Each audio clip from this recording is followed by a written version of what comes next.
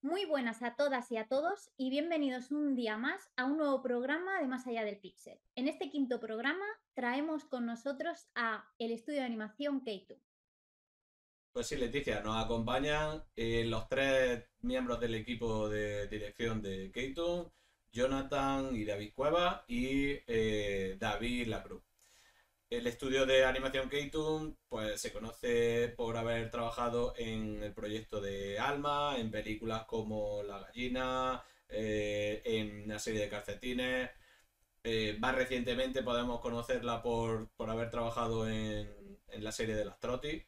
Y bueno, eh, otras series que nos van a contar y otros proyectos que también vamos a hablar largo y tendido. Eh, espero que os guste y que lo disfrutéis tanto como lo hemos hecho Leticia y yo. Bueno a todos, estamos aquí con el equipo completo de Keitun, eh, David y, y, Jonathan Cueva y eh, David Lacruz. Bienvenidos chicos. Hola, ¿qué tal? ¿Cómo estáis? ¿Qué tal? Muy bien, Buenas. muy bien, muy bien.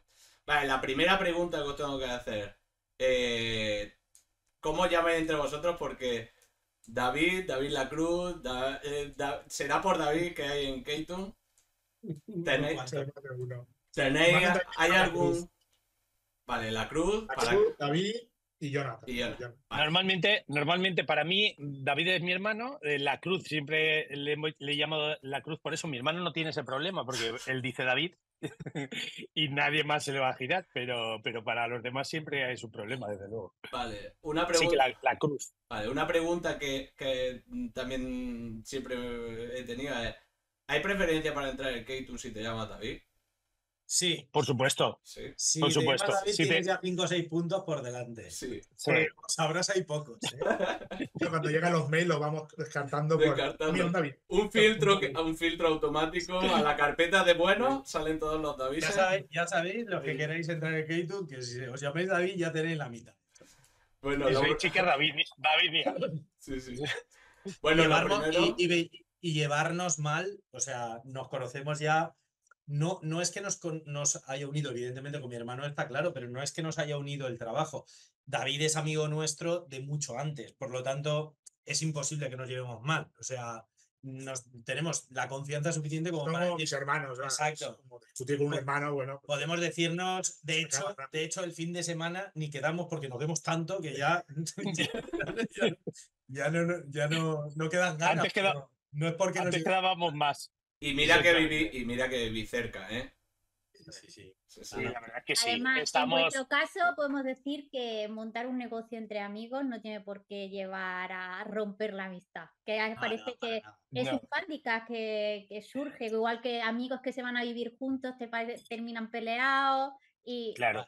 Yo creo que, yo creo que en ese caso eh, suele, eh, lo, que, lo que suele ocurrir es que alguno curra más que el otro o que ves que uno no hace su trabajo y a lo mejor te lo estás tirando todo tú a la espalda y tal y al final se puede romper por eso, pero en nuestro caso cada uno se ha, lle- ha llevado siempre, ha tenido muy claro lo que tenía que hacer dentro de la empresa y lo hemos respetado desde ese punto, Y ¿sabes? aunque haya Eh, sucedido, cada uno tiene sus circunstancias y en un momento dado puedes tener un bajón por lo que sea, por cosa familiar o lo que, bueno, pues Claro. se apechuga más con una relación. Puede que tú estás Claro. una y el otro está. Vale. bueno, Bueno, un pues, poco para, para sí. también para entender un poco vuestro, para conoceros y saber un poco, porque hemos empezado ya como nos, nos tiramos todo el día, porque vosotros decís que vosotros estáis, lleváis toda la semana y lleváis todos los, un montón de años trabajando juntos, pero es que nosotros estamos con vosotros prácticamente todos los días también, entonces es como, es más, hemos salido hace mm, 20 minutos de una, reunión y estamos ya otra vez aquí, parece que, que no se ha terminado.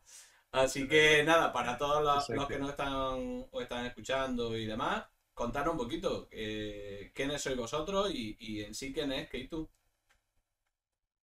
Pues eh, yo Sí. Si quieres. Bueno, si queréis, eh, nosotros llevamos 20 años, somos una empresa de animación 3D, eh, llevamos 20 años trabajando eh, exclusivamente haciendo eso, tanto animación para, hemos trabajado desde videojuegos, hemos hecho animación para cine, hemos, hemos hecho películas, hemos hecho anuncios y ahora estamos muy centrados en tema de series, series y películas. Ya poco a poco va, ha ido subiendo el, eh, la plantilla, el número de, trabajadores y la verdad es que, bueno, llevando 20 años en el, en el negocio estamos súper contentos en el momento en el que estamos, que para nosotros es, es lo que buscábamos, trabajar y vivir de ello y, estábamos muy contentos. Muy bien, y dentro de vosotros? que dices que, ha, ido creciendo la, plantilla con los años y, demás, eh, ¿cómo se lleva? ¿Es eh, el, que la, empresa vaya creciendo, el tener que gestionar a un equipo cada vez más grande eh, y demás? Tiene su punto bueno, que es que un poco se reparte más la faena, tienes más, más supervisores, más gente en producción, pero tiene también lo malo pues, que cada vez da más vértigo porque hemos sufrido muchas veces el, bueno, lo que pasa en las, en las, producciones, ¿no? que de pronto incluso cosas que van a salir, van a salir, ya no te digo que se, que se caigan, sino que van a salir, van a salir y antes de salir te dicen, oye, que al final, por el COVID, por lo que sea, y bueno, estás aguantando ahí una serie de gente para el nuevo proyecto, pues a nivel empresarial, pues siempre es, arriesgado el, tener tanta gente en plantilla, pues porque te puede hacer un roto bastante importante. Y luego aparte también se llama mal porque una empresa como nosotros, eh, que, normalmente no habíamos sido más de 25 personas, eh, crecer, eh, lo que sucede es que, claro, si se acaba un proyecto, prescindir de gente nunca es agradable. ¿Sabes? Ahora mismo Exactamente, ahora mismo somos 50. Sí, pero o sea, alrededor. Pero para nosotros es, una, es, un, es un mal trago, porque cuando tienes que elegir gente que tienes que despedir, pues claro, eso eh, mm, evidentemente no, no es plato de buen gusto. Y de hecho, hay ocasiones en las que un beneficio de otro proyecto intentamos eh, hacer que, que se transforme en que no despidamos gente porque a lo mejor luego viene otro proyecto grande e intentar mantener la plantilla, pero hay ocasiones en las que no se puede hacer, evidentemente. Claro, pero es un proyecto Que, tiene fecha de caducidad y que y la gente ya entra diciendo, tú estás para este proyecto que es hasta diciembre de este año, por ejemplo. Que luego surge segunda temporada, tal. Bueno, pues venga, continuamos, vale. De hecho, hay gente que está con nosotros, creo que siete años. Eh, que, quiero decir que hay mucha gente que empalma eh, proyectos y demás, y, y es maravilloso, pero claro, en esta industria ya sabéis que vamos por proyecto. Entonces, es una cosa que, que da, da miedito, porque cuando pasa, mm, pues es, es difícil de, de, lidiar con ello. Pero bueno, que es un mal trago también personal, porque claro, claro, que la gente. Hablo, hablo, con eso. son noches sin dormir, claro. ¿qué hacemos? Tal, intentando siempre, aguantamos esto un poquito, es que no va a hacer falta. Bueno, ya, pero si sale esto que nos han dicho, de todos modos, eh, eh, eh, es, lógico, que, este que, hay veces que los números mandan y los tienes, lo tienes que hacer, pero bueno, tenemos la suerte de que últimamente pues, no pasa y, tenemos faena y eso es lo mejor que hay. por, otro, por, otro, por otro lado, lo que sí que ha cambiado completamente el tener, pues eso, alrededor de 50 más o menos, es trabajar con, con, cargos, pues antiguamente, pues nosotros lo, mi hermano y yo en la parte artística y David en la parte de, eh, empresarial, digamos, eh, nos lo comíamos todo. Entonces, también esa es una parte buena eh, que teníamos nosotros que cuando llegaban vacas flacas, pues a lo mejor con un equipo de cinco o seis personas podíamos hacer anuncios y vivir y mantener la empresa abierta durante, durante los momentos más duros de, del 2008. Recuerdo cuando fue todo la crisis y tal. Y nos mantuvimos ahí, bien, cobrando y, demás. ¿Qué pasa? Que cuando ya subes a tantas personas, ya eh, primero que tienes que darte cuenta que no puedes llegar a todo. O sea, la primera es que nosotros eh, hacíamos, mi hermano y yo, por ejemplo, hacíamos todo lo que era modelado, desde diseño, modelado, eh, texturizado, lo hacíamos todo, incluso la animación. Después ya empezamos a contratar animadores, por supuesto, para proyectos más grandes y poco a poco eh, te vas dando cuenta que necesitas esos supervisores en esas partes y tú encargarte de lo que estamos haciendo, por ejemplo, mi hermano y yo, que es dirección, y encargarnos exclusivamente de eso, porque no podemos en ningún, o sea, no podemos eh, trabajar, intentar hacer todo, y eso es una de las cosas que más hemos aprendido, intentar decir qué es lo que necesitamos y dejar a los demás trabajar, eso tienes que aprender. Al final tienes que dejarlo como, pues como decía Tarantino, ¿no? No, no, nos estemos comparando con Tarantino, pero al final no es tu labor ¿no? La de, la de hacerlo. Y tienes que acostumbrarte. Y mira que nos es, nos es difícil hacer eso. Pero, pero al final te tienes que ponerte, vale, ¿qué voy a hacer? Dirección, pues bueno, voy a encargarme de que, de que se haga, pues eso, con una visión general y demás. Pero, pero nos hemos apartado bastante de la parte de, de, meter mano ahí a modelar, a texturizar. A yo creo que también eso, es, eso. es debido a la gente que nos hemos encontrado por el camino. Claro. cuando nosotros no hemos confiado en, en, en, que dependa de otros el trabajo, el proyecto, eh, pues claro, no lo hemos podido hacer, pero nosotros llevamos una temporada y, y realmente eh, me, sabe mal porque estáis aquí, pero es verdad que, por ejemplo, el apartado de producción con Leticia eh, ahora mismo o el apartado de, de, rigging y de supervisión de FX y de muchas cosas, eh, el que os hayamos encontrado a vosotros en a Pixelodeon, a nosotros nos ha dado aire fresco, o sea, totalmente, porque no esperábamos que eso pasara. con los proyectos que teníamos antes, hemos tenido que pelear mucho y ahora mismo eh, es verdad que, que, confiamos muchísimo en vosotros.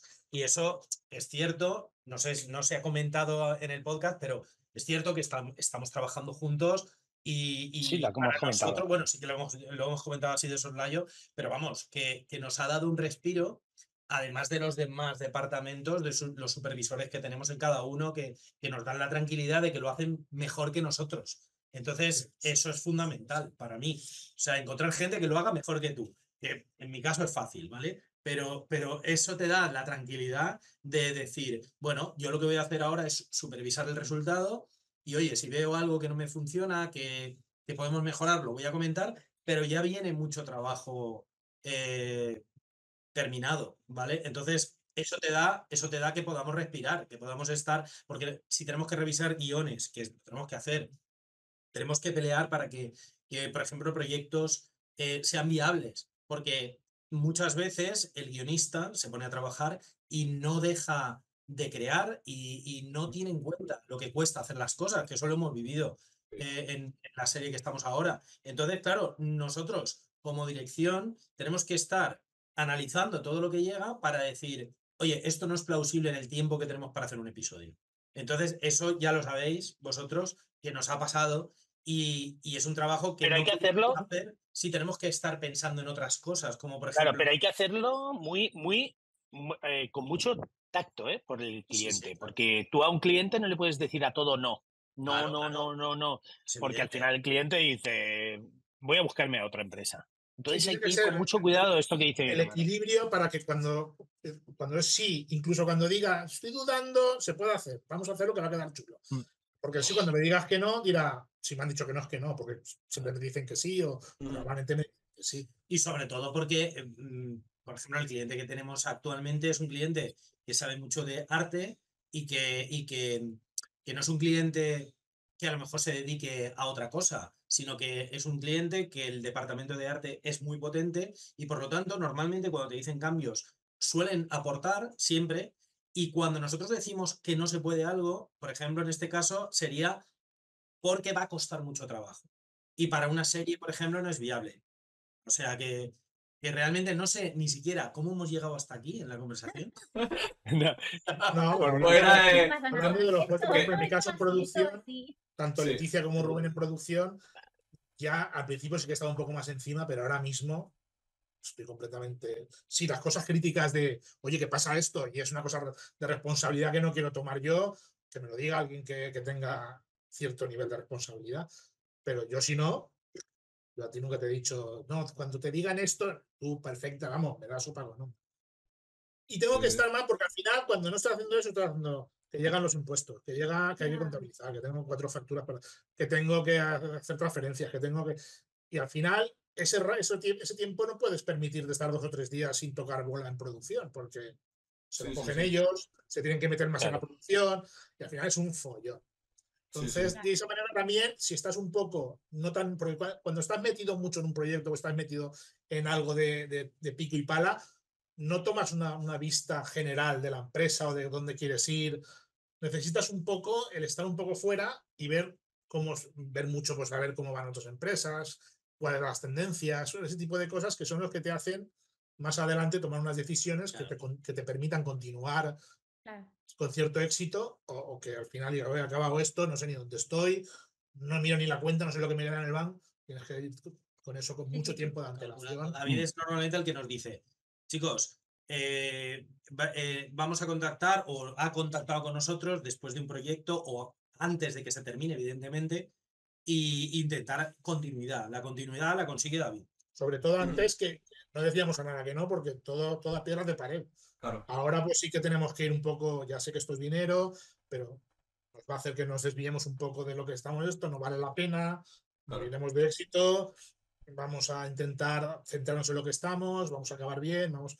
Pues, esas, estrategias que, que tienes que, tomar decisiones, que siempre tomo con ellos, por supuesto, porque yo no tomo ninguna decisión de sola todas las decisiones empresariales, aunque yo pueda ser el contacto del cliente o lo que sea, al final somos nosotros tres los que... Al final sois el equipo directivo que de, eso, de eso trata. y os imaginabais eh, cuando se creó Keitung, antes de que se creara Keitung, ¿os imaginabais crear Keitung? ¿Soñabais con esto? A ver, a ver yo, no, nosotros, yo no dice que sí. Yora siempre ha venido a la mente el crear una, la empresa. Pero yo realmente, eh, cuando empezamos, nosotros em, realmente veníamos del diseño y veníamos del diseño gráfico. Lo que pasa es que nosotros, después de trabajar unos cuantos años en diseño gráfico, nos dimos... Seguíamos estudiando. Claro, seguíamos estudiando, eh, nos encantaba Animación. Nosotros estudiamos la carrera de diseño gráfico, eran cinco años, eh, estábamos muy contentos, pero luego nos dimos cuenta que, buscábamos algo más y la animación nos gustaba. Eh, estábamos trabajando en, la industria para otros y, realmente en aquella época tampoco había mucha gente y estábamos súper contentos. Pero mi hermano sí que tenía siempre en la mente, en la, mente crear, crear una empresa. Nosotros siempre, eh, de, los, de los dos quizá, a lo mejor yo tenía esa, esa mentalidad de, querer plasmar nuestras ideas, Mm, sin tener un filtro, porque estábamos en una empresa que estábamos muy bien mirados, una empresa en la que hicimos cosas muy chulas, como por ejemplo los anuncios de Cuétara Flakes y cosas así que tuvieron mucho impacto en la sociedad. Ah, Paso Cebra, que siguen. Paso Cebra. No, creo que cerraron, creo que cerraron. Lo leí en, un artículo eh, con Raúl Díez y, y su hermano Daniel, y la verdad es que ahí estuvimos ahí fue el primer contacto profesional, digamos, con el tema de la animación, aunque ya habíamos hecho muchas cositas y habíamos trabajado para ciertas, eh, ciertas empresas haciendo freelance, pero ahí fue el contacto profesional y ahí fue donde se gestó el crear K-Toon, porque quizá, pues, mm, pues a lo mejor la, la visión que tenían o la visión que mm, lo que lo que veíamos en a lo mejor en esa empresa eh, no era lo que creíamos que era lo mejor que se podía hacer o lo que no, como nosotros nos hubiera gustado llevar la empresa. Y en un momento dado, pues hubo un cambio de dirección y no de dirección de la empresa, sino que decidimos dejar esa empresa para montar, para montar Keitun con otros dos socios que se fueron a los tres años aproximadamente, ¿no, eh, chicos? Y dos más o menos. Dos años. Unos dos años, los dos primeros años o dos o tres primeros años sí que estuvimos juntos, pero ellos decidieron ir por otro lado y y nos, perdón, eran eh, tres socios más. Y David La Cruz aún no, no, no estaba. y cuando ellos. pero no era ni siquiera socio. Y cuando ellos se fueron, nosotros entonces hicimos la sociedad entre los tres. Y eso fue, pues eso, pues hace 18 años. O sea, nosotros ya llevamos 20, pero, pero la empresa. Sí, cuando ya hicimos el cambio. Pero sí, yo, yo sí que tenía claro, o me iba fuera a hacer películas a Estados Unidos o mm. intentar llegar a Estados Unidos o algo así, ah, o, montar una empresa, lo tenía clarísimo. Lo que pasa es que lo de irse fuera, también hemos tenido siempre muy claro, mi hermano y yo por lo menos, lo de que para mí la familia es, esencial y yo quería estar cerca de la familia. No, pues, hablo de mis padres, de mis amigos, de, mi entorno eh, familiar y, cada vez que o sea, pensábamos irnos fuera, era por las, la pasión que le teníamos a la animación. Si llegásemos a, Estados Unidos o Pixar, Disney. Claro, claro. pero, pero también hemos sabido valorar siempre lo de. O sea, yo conozco mucha gente que se ha ido fuera y siempre nos han dicho que, que les daba o sea, que ellos tenían claro que querían volver, aunque gente de Pixar, por ejemplo, gente que está trabajando en Pixar y ellos tenían claro que a España tenían que volver. Y después hablabas con un francés que estaba, Bolain Bouchiva, por ejemplo, o, bueno, muchísimos eh, hemos hablado con ellos, que Bolain Bouchiva eh, estaba trabajando en Pixar y, y, me decía, yo es que quiero volver a París, era, era, de, era francés y me decía, y yo decía, pero si estás en la cumbre, estás en Pixar, estás haciendo Ratatouille, ¿cómo quieres volver? Dice, no, no, es que eh, la familia, los amigos, la, el entorno, dice, yo quiero volver. Y entonces nosotros teníamos muy claro bastante claro desde el principio que irnos fuera estaba muy bien, pero también valorábamos lo de quedarnos. Entonces, lo de montar una empresa yo creo que era la, vamos, lo, necesario para tener lo que queríamos, pero sin tener que irnos fuera. Y nos, nos, salió más o menos bien. Además, creo que estamos en un buen momento para que es un tema recurrente, además, en los podcasts y cada vez que hablamos con cualquier compañero, que creo que estamos en un buen momento para que España empiece a demostrar que hay buena materia prima eh, y que no hay que irse fuera necesariamente y que, y que desde fuera, que aquí hay estudios buenos y hay gente buena que, que puede sacar grandes cosas. Sí, en todos los grandes estudios, DreamWorks, en Pixar, Disney, siempre han habido españoles con mucho talento, siempre. Lo único que sucede es que se van. Eh, porque aquí, por ejemplo, si lo comparamos, por ejemplo, con, con la industria de la animación en, en Francia, eh, por ejemplo, por poner un ejemplo, que nosotros hicimos una serie en la que nos enteramos de un poco cómo funcionaba aquello, eh, tienen muchas ayudas, muchísimas más ayudas que aquí en España. Entonces, ¿qué sucede? Que el dinero, el dinero repercute en la industria y hace que haya más industria, ¿vale? Y aquí en España, si yo no tenía clientes, tenía que cerrar. Eh, y, y, nosotros nos ha pasado de, de vacas flacas en las que hemos tenido que bajar como hemos dicho antes, el número de trabajadores para mantener la empresa viva. Y luego vacas, vacas eh, gordas han venido, pero, pero siempre puede pasarte. Si no tienes un gobierno eh, que apoye, eh, que, se que se sostenga la, todo lo que es la, la industria, vamos a tener problemas, porque al final lo que sucede es que dependes únicamente del trabajo. Y, nosotros siempre lo hemos hecho así, nunca hemos tenido ayuda. siempre sector servicios. Siempre. siempre frío, o sea, de, bueno, quitando la serie que hicimos sí, pero nuestra. Normalmente siempre nos ha venido productoras o lo que sea, que luego nos han contratado para hacer ese servicio y ya está. Service. Sí que es verdad que en Francia tiene lo del automático, que tú una vez te dan una vez una ayuda, todos los años tienes derecho ya a ella. Entonces van locos por las ferias y, por, los, festivales buscando, gente. Proyectos, buscando porque igual no tengo nada este año, pero a ver si tú vas a hacer algo y te hago yo parte y a mí con el dinero que me dan a mí, yo vivo con eso y tal y, hacemos la serie y tú pones tu parte. Y... eso al crear industria, crea escuelas y crea, porque por ejemplo, también eso ha cambiado mucho. Que mm. nosotros cuando lo hicimos, mi hermano y yo, por ejemplo, estuvimos un año y pico yéndonos a Madrid todos los fines de semana a una escuela de que allí se daba eh, lo que es los programas y luego se daba animación y nosotros lo hicimos en CICE, que, desgraciadamente ha cerrado, pero mm. es una escuela que, que eh, nosotros nos íbamos el viernes por la noche eh, a las 4 de la mañana, todos los días durante un año, un curso y luego otro curso, seis meses. Ahora mismo hay un nivel alto de, de, animación. Si estudiar videojuegos está ESAT, por ejemplo, que mi hermano y yo hemos sido profesores durante ocho cursos y mm. realmente Pixelodion, por ejemplo, ahí está una escuela que puedes aprender desde casa. Em, eso yo habría matado cuando tenía 20 años. Habría matado por un Pixelodion. yo hubiese matado también. Si lo que vosotros estáis diciendo de hacer fines de semana, eh, yo empecé así. Yo ah. eh, yendo fines de semana curso de verano, ¿de acuerdo? Y a eso tengo que agradecer, como siempre, a mis padres, el coger el fin de semana y decir nos vamos el sábado por la mañana. Curso intensivo desde la, creo que era las 9 de la mañana hasta las 8 de la tarde. Y mis padres me llevaban desde Linares a, a Málaga ellos se quedaban todo el día en la playa, que tú dices, aprovecha, vale, sí, pero la paliza de, dos meses, dos meses y pico que sabes que vas a tener el, el fin de semana no tienes. Claro, claro. El fin de semana no tienes hasta aquí de pescadito, ¿no? Estaban hasta aquí de pescadito. Sí, sí, más o menos. Estarían, more, estarían morenos o vamos. Sí, sí, y era eso, y era, vas allí, te tiras todos los fines de semana, lo tienes ya vendido para eso. Eh, el viaje, el cansancio, el dineral que, era en su momento también. Y luego, de, y luego viajes, yo me acuerdo de ir a Masterclass de 48 horas de fines de semana, pegarme el viaje desde Málaga a Alicante, estar, que había una escuela Little Demo, me parece, en Alicante.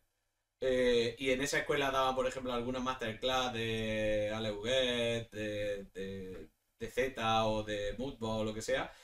Irme solamente en el autobús por la noche para no pagar, para no pagar hotel. Me cogía el autobús de las 12 de la noche para llegar a las 6 o las 7 de la mañana, entrar a clase, quedarme una noche en el hotel solo y luego terminar la clase a las 8 de la tarde del domingo y venirme por la noche y llegar a Málaga a las 4 y pico a 5 de la mañana. y Leticia está esperándome ahí en la casa. Sí, sí, sí. sí. nosotros, nosotros lo que hacíamos... El esfuerzo que claro. antes. Sí, sí, sí, nosotros lo que, lo que hacíamos era eso, era salir a las 4 de la mañana mi hermano y yo con el coche, pues íbamos allí, llegábamos, era en Madrid, era CICE estaba en Madrid, estaba Daniel Martínez Lara estaba allí de profesor, y por eso nos apuntamos. Eso fue en, un, después... un broadcast que se llamaba, que era, no, en un Simo creo que fue, en un Simo. Era, era, el broadcast, era el broadcast. y Íbamos andando por ahí dentro del Simo. Y vimos, vimos una pantalla en la que había eh, eh, una la imagen de... reconocimos que era el Pepe de, de, de Daniel Martínez Lara y dijimos, coño, ¿esto qué es? Ah, pues se hace un curso de 3D. ¿Qué? qué? Era, eso era el año 1999 bueno, 2000. Más que esto que es, ya lo sabíamos lo que era, porque íbamos locos mirando todo lo que hacía. Sí, pero esto que es, de, ¿cómo puede ser? Pero de cómo, puede ser. Aquí? Oye, ¿por qué está esto aquí? Y dice, pues que Daniel es, es profesor allí. De todas formas, lo que hicimos fue hacer cursos de fin de semana, por lo tanto, Dani no daba los fines de semana, pero da igual, estuvo genial. Y, muchas veces yo, nosotros a nuestros alumnos se lo decíamos, le decíamos, pero no, tenéis ni idea la, suerte que tenéis ahora para aprender desde casa, que hay un millón de escuelas y hay un millón de, información ya en YouTube, por ejemplo, en el que podéis aprender cualquier cosa, da igual. Y encima ahora ya con las IA ya apaga y vámonos. ya con temas de programación y cosas así, que, que es completamente increíble. Sí, sí, sí. Pero bueno, antes que las cosas eran muy, muy diferentes y si te apuntaba algo te gastaba bastante más dinero incluso de lo que te cuesta ahora y, picaba todo mucho más. Ahora, eh, bueno, estoy en mi casa, si no, tengo, si no asisto a la clase la tengo grabada, ya la veré después. Bueno, si no hago los ejercicios esta semana, los hago la que viene, no sé qué. Muchas veces pasa eso. Y es la comodidad de tenerlo tanto, todo tan fácil a veces, le, no lo aprovechan. Pero bueno, eso, es así, eso es así. En ESAT, por ejemplo, nosotros, gracias a ESAT, tenemos muy buenos trabajadores aquí, porque, porque hay bastante gente que hemos traído de allí, claro. Porque ves gente, mi hermano está dando clase en segundo, yo en tercero. Eh, lo que sucede es que mi hermano me avisa, eh, dice, mira, te va esta persona, esta otra persona. Ojo, son buenos trabajadores, los ves con ganas, pero es que de esos, en una clase de 40 personas, eh, te digo, por favor, de verdad que hay tres, o sea, o dos, o uno. Normalmente hay gente que va... Y, suelen ser, normalmente suelen ser los que más... Eh, la, el SAT no es barata, ¿vale? Es una escuela de, videojuegos, ha sido considerada la mejor escuela de videojuegos de España, la cuarta de Europa y la séptima del mundo. y, la verdad es que es, es brutal. Los proyectos que, sacan los alumnos es increíble y, está muy bien. Pero mm, eh, la gente que realmente saca partido, son, mm, alucino, uno de nuestros trabajadores, Raúl, fue el, mejor de la promoción y Raúl era el único de la clase o el único de los pocos que trabajaba ocho horas diarias por la tarde y él o sea, él, tenía un horario de trabajo y un horario de clase exactamente con las mismas horas. Le daba lo justo para dormir. Y encima era el que antes entregaba, el que antes eh, terminaba todos los trabajos. Es que era una maravilla. Y, eh, ahí se ve las ganas. Entonces, este mundo es muy bonito, pero también muy sacrificado. Y, yo creo que los que al final llegan son los que más horas le dedican, lo que, los que más pasión tienen, sencillamente. Y se nota, se nota. En este mundo. Se nota luego. Mm. Se nota el cariño. Sí. Vale, pues eh, lo hemos pasado un poquito por alto antes. Has comentado algo, la cruz, eh, pero me parece súper interesante y creo que a Leticia también le va a parecer muy interesante que nos cuentes un poco más sobre tu función en la empresa, porque siempre se habla de los artistas, ay, los artistas, mira qué animación más bonita ha hecho esta empresa, no sé qué, pero cuéntanos un poco de tu trabajo. Y bueno, soy un poco el contacto con el, con el cliente, siempre que llega un proyecto, siempre que, que nos tantean, que, que, nos piden presupuesto, aunque luego los presupuestos sí que los, los comento también con mis socios. Pero es la parte, toda la parte administrativa, cuando ya tienes tanta gente, ya es bastante complicado. Muchas facturas, eh, tema de pagos, tema de, de, de, los cobros, llevarlo todo al día, bancos. nóminas. Nóminas. todo, todo, toda la parte administrativa, que es lo que les descargo a ellos para que se dediquen únicamente al tema, bueno, únicamente digo, sí. al tema de, de, dirección, que es, el, es, por lo que funciona la empresa. Yo doy, yo doy las gracias. Sí. No, y luego, por ejemplo, hay una cosa que no dice David, pero por ejemplo, cuando hay un problema en un, una serie eh, que tenemos que hablar ya con, con gente superior, ya entra David también, ¿sabes? Ya digo, David, tío, este, este episodio ha sido un poco... Sí, porque yo un poco soy el que doy la voz de alarma ahora porque son cosas a, a más largo plazo y está todo muy... Todos los meses pues estamos con vosotros, ¿no? Que al final sabes que todos los meses tienes tu factura. Pero cuando ya necesitas que dices, estos son tres meses y tienes que darme ahora parte por delante y tenemos que acabar tal día porque tengo que pagar nómina y dijimos que acabaríamos tal día y necesito cobrar y necesito claro. poder. Claro, si no acabas, mm, claro. no vas a ir, oye, no he acabado, pero. ¿Ves? Yo de esto. Claro, sola. Claro, solamente. Claro. Y además yo tú eres. Yo he comerme eso para, para cuando ya no puedo que digo, esto ya tengo que decirlo porque si no, sí que depende de que... Claro, claro. Y además... Es súper importante que haya una persona... Súper importante. Vamos, voy viendo como siempre va la producción, pero siempre desde arriba, viendo cómo es, vamos es súper importante. Es que el... lo acabamos, tal. Es que eh, el tener a alguien así que se encargue de esos números tan fríos eh, eh, y, verlo desde una perspectiva diferente a la nuestra es súper importante, porque después nosotros, imagínate que bajamos a esa, a esa parte, ¿vale? Vamos y nos ponemos a mirar ese, ese, eh, eso que ocurre con esos números. Cuando llegas a la, a la parte de producción, o sea, artística, digamos, por, decirle, por, decirlo de alguna manera, llegas de otra manera. Ya a lo mejor estás ya, intent ostras, sabes que tienes que acelerar y, y resulta que estás súper condicionado. Y empieza, vamos, vamos a darle caña, me da igual que esté. Sí, entonces sí, ya sí. empieza a, a, juntarse todo eso y eso tiene que estar separado. Tiene que haber un momento que David La Cruz y mi hermano y yo nos vamos a almorzar y nos tiramos a lo mejor una hora almorzando. Uh -huh. y, y, es que esa hora también es trabajo, porque estamos hablando justamente de qué está ocurriendo en la empresa.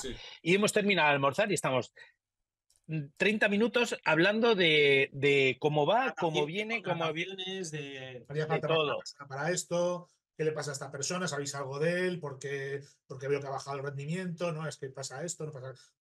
Cosas que luego aquí es más complicado hablar porque siempre está lleno de gente y, y a veces claro. tampoco quieres que suelte una frase o algo que diga, no, ostras lo que he oído, y se monta aquí un, un guiri. Un 2 de mayo. Que son empresarios claro. que no tienen, que no van a ningún lado y que, bueno, pero bueno, a veces escuchando cosas que. Sí, sí, sí. Y pues ya sabéis lo que hace David.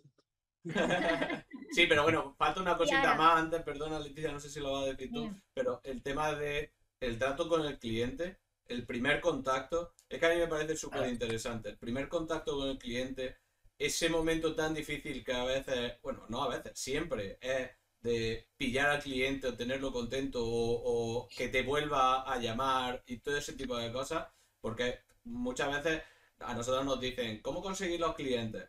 Y a veces ya no es solo lo difícil que es conseguir el cliente, sino mantenerlo. Es mantenerlo. Exacto. Es, eh, muy, hay... muy, muy, difícil conseguirlo y es muy fácil perderlo. Sí, sí. Mira, David, una de las cosas que hace, una, perdona David, una de las cosas que hace David que lo ha hecho toda la vida con nosotros eh, ha sido que mi hermano y yo a lo mejor, sobre todo yo, a veces soy, eh, eh, no sé, a lo mejor una decisión en la que, te impone el cliente, a lo mejor como vemos que no tiene razón en un momento dado, hay, hay clientes que, que, muchas veces nos ha pasado, que nos piden barbaridades, que sabes, que no va a funcionar y que nos va a llevar un tiempo extra que no tenemos. Entonces, eh, el tener que hacerlo y saber que vamos a volver atrás, yo a lo mejor me pongo de los nervios. Y siempre David ha hecho de parapeto con el cliente. Y siempre ha hecho esa, esa labor. ¿eh? Pero, pero, simplemente porque es la parte artística, es lo de siempre, la parte artística que tú tienes tus, tus ideas y tienes, como, es como cuando va alguien o, te desmerece tu trabajo o tú tienes clarísimo lo que quieres hacer y va alguien. Yo como miro más la parte crematística, bueno, pero no se podría hacer algo, pero no se podría, porque al final lo que quiero es poder cobrar a final de mes, tener esa factura, y ellos pelean más por sus ideas, por sus... Por, sobre el trabajo, sobre todo que están haciendo, porque creen en, la animación que están haciendo, creen en el en la empresa. yo al final voy un poco buscando, sí, sí, perfecto, pero si hacemos esto? Sí, sí. Tú eres, más pragmático y, y, ellos son más idealistas. Y David en la empresa es mucho, muchas veces la visión del enemigo entre comillas. Es la visión del que te ha dicho que tenemos que entregar mañana, o el que te ha dicho eh, que ese presupuesto es alto, o el que te ha dicho que ese episodio no te gusta.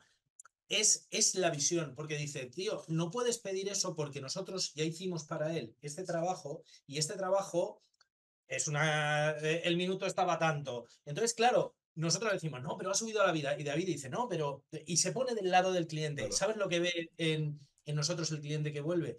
Yo creo que ve honestidad. ¿Por qué? Porque cuando nosotros decimos que no, no podemos hacer, y esto lo sabes tú, Diego, cuando decimos que no en un, en un guion en el que sale un monstruo hecho a base de partes de otros objetos, pues lo decimos porque sabemos que eso es plausible, pero no en el tiempo que tenemos.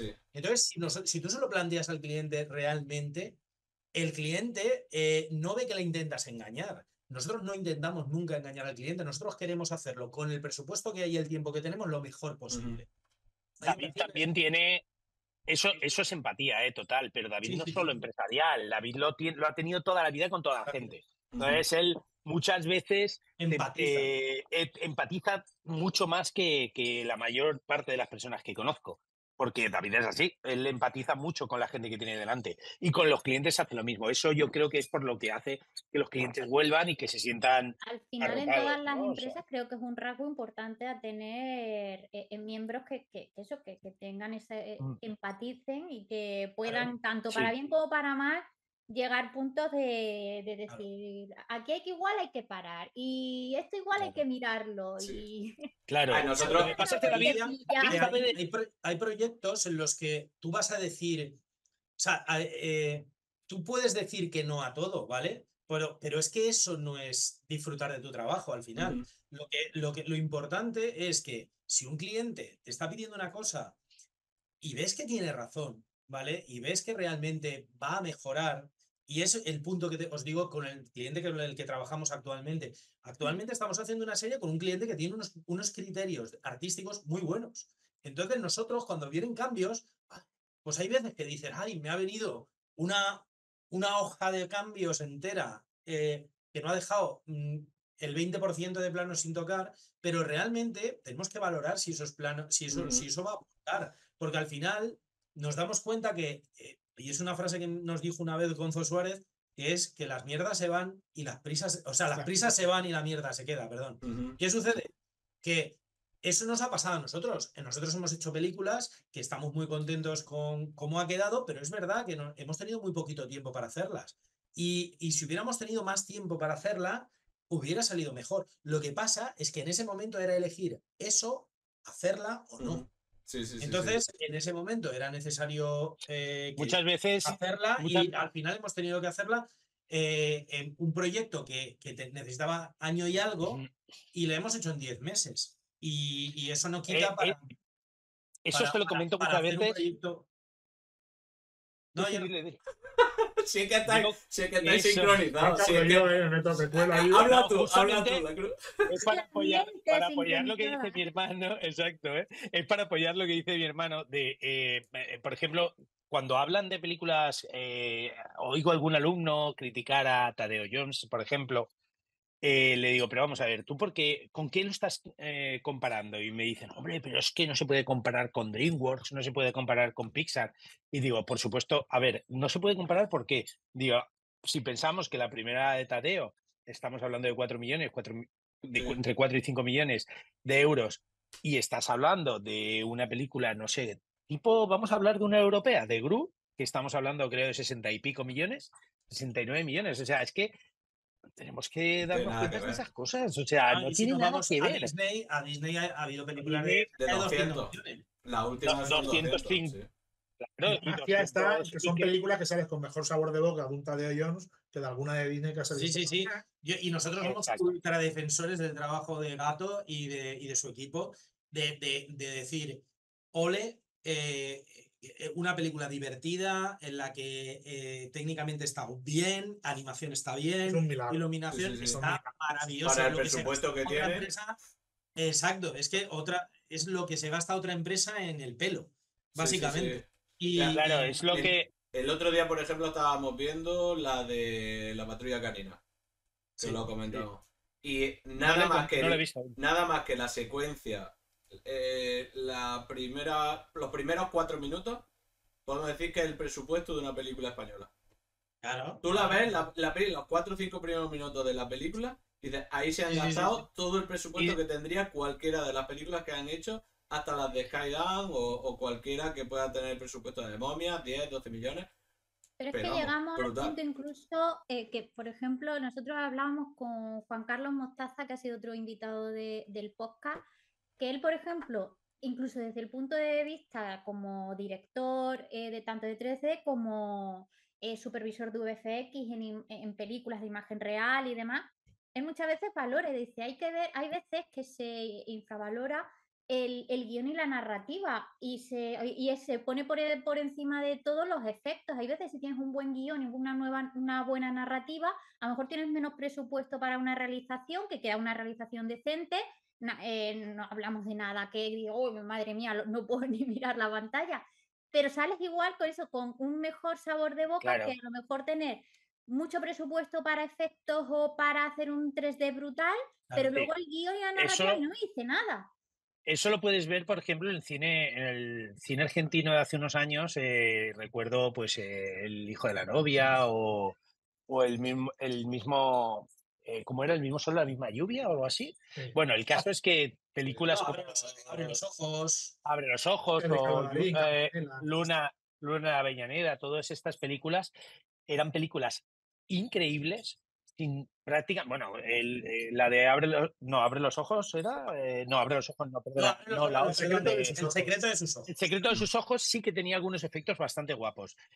Eh, pero, pero las otras no tenían nada de efectos y eran películas increíbles. Y esa creatividad eh, te la da muchas veces el no tener la posibilidad de hacer otras cosas. En Estados Unidos, por ejemplo, pasa todo lo contrario. Tienen tanta posibilidad de hacer todo lo que quieran que al final los guiones son una traca final directamente empiezas ahí a, meter todo lo que sea, es como el Photoshop, ¿no? Voy a meter efectos ahí y te hacen un póster que da asco. Pues en este caso pasa lo mismo con las películas, muchas veces las películas americanas, que porque tienen, tienen tantísimo presupuesto que no piensan en el guion es prácticamente lo de menos. Em, series, series de Star Wars, tenemos que, no voy a decir ninguna porque sé que mm, peligra mi vida, pero sí que es verdad que algunas hay algunas series de, de, esta última jornada que, madre mía, que dices, ostras, me pego un tiro, porque son no sabéis, verdaderas... No sabéis ver, el cine.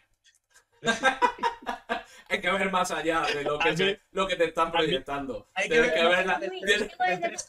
muy objetiva, que cuando sale algo, como tenga un sello X, ya le da igual. O sea, ya, ya, ya, tiene una, hay una palabra que los define, se llaman fanboys. No, bueno, yo, soy, yo sí soy fanboy, pero yo es que cuando estoy viendo un producto de eso, el problema que yo tengo es que no solo veo el producto, sino las posibilidades que tiene y lo que hay detrás. Porque a lo mejor sale, simplemente con que salga un personaje que va aislado a la historia de otra cosa, yo ya lo voy uniendo. Pero bueno, es, es, es mi, mi rayadura, mis cosas. Nosotros somos muy fans.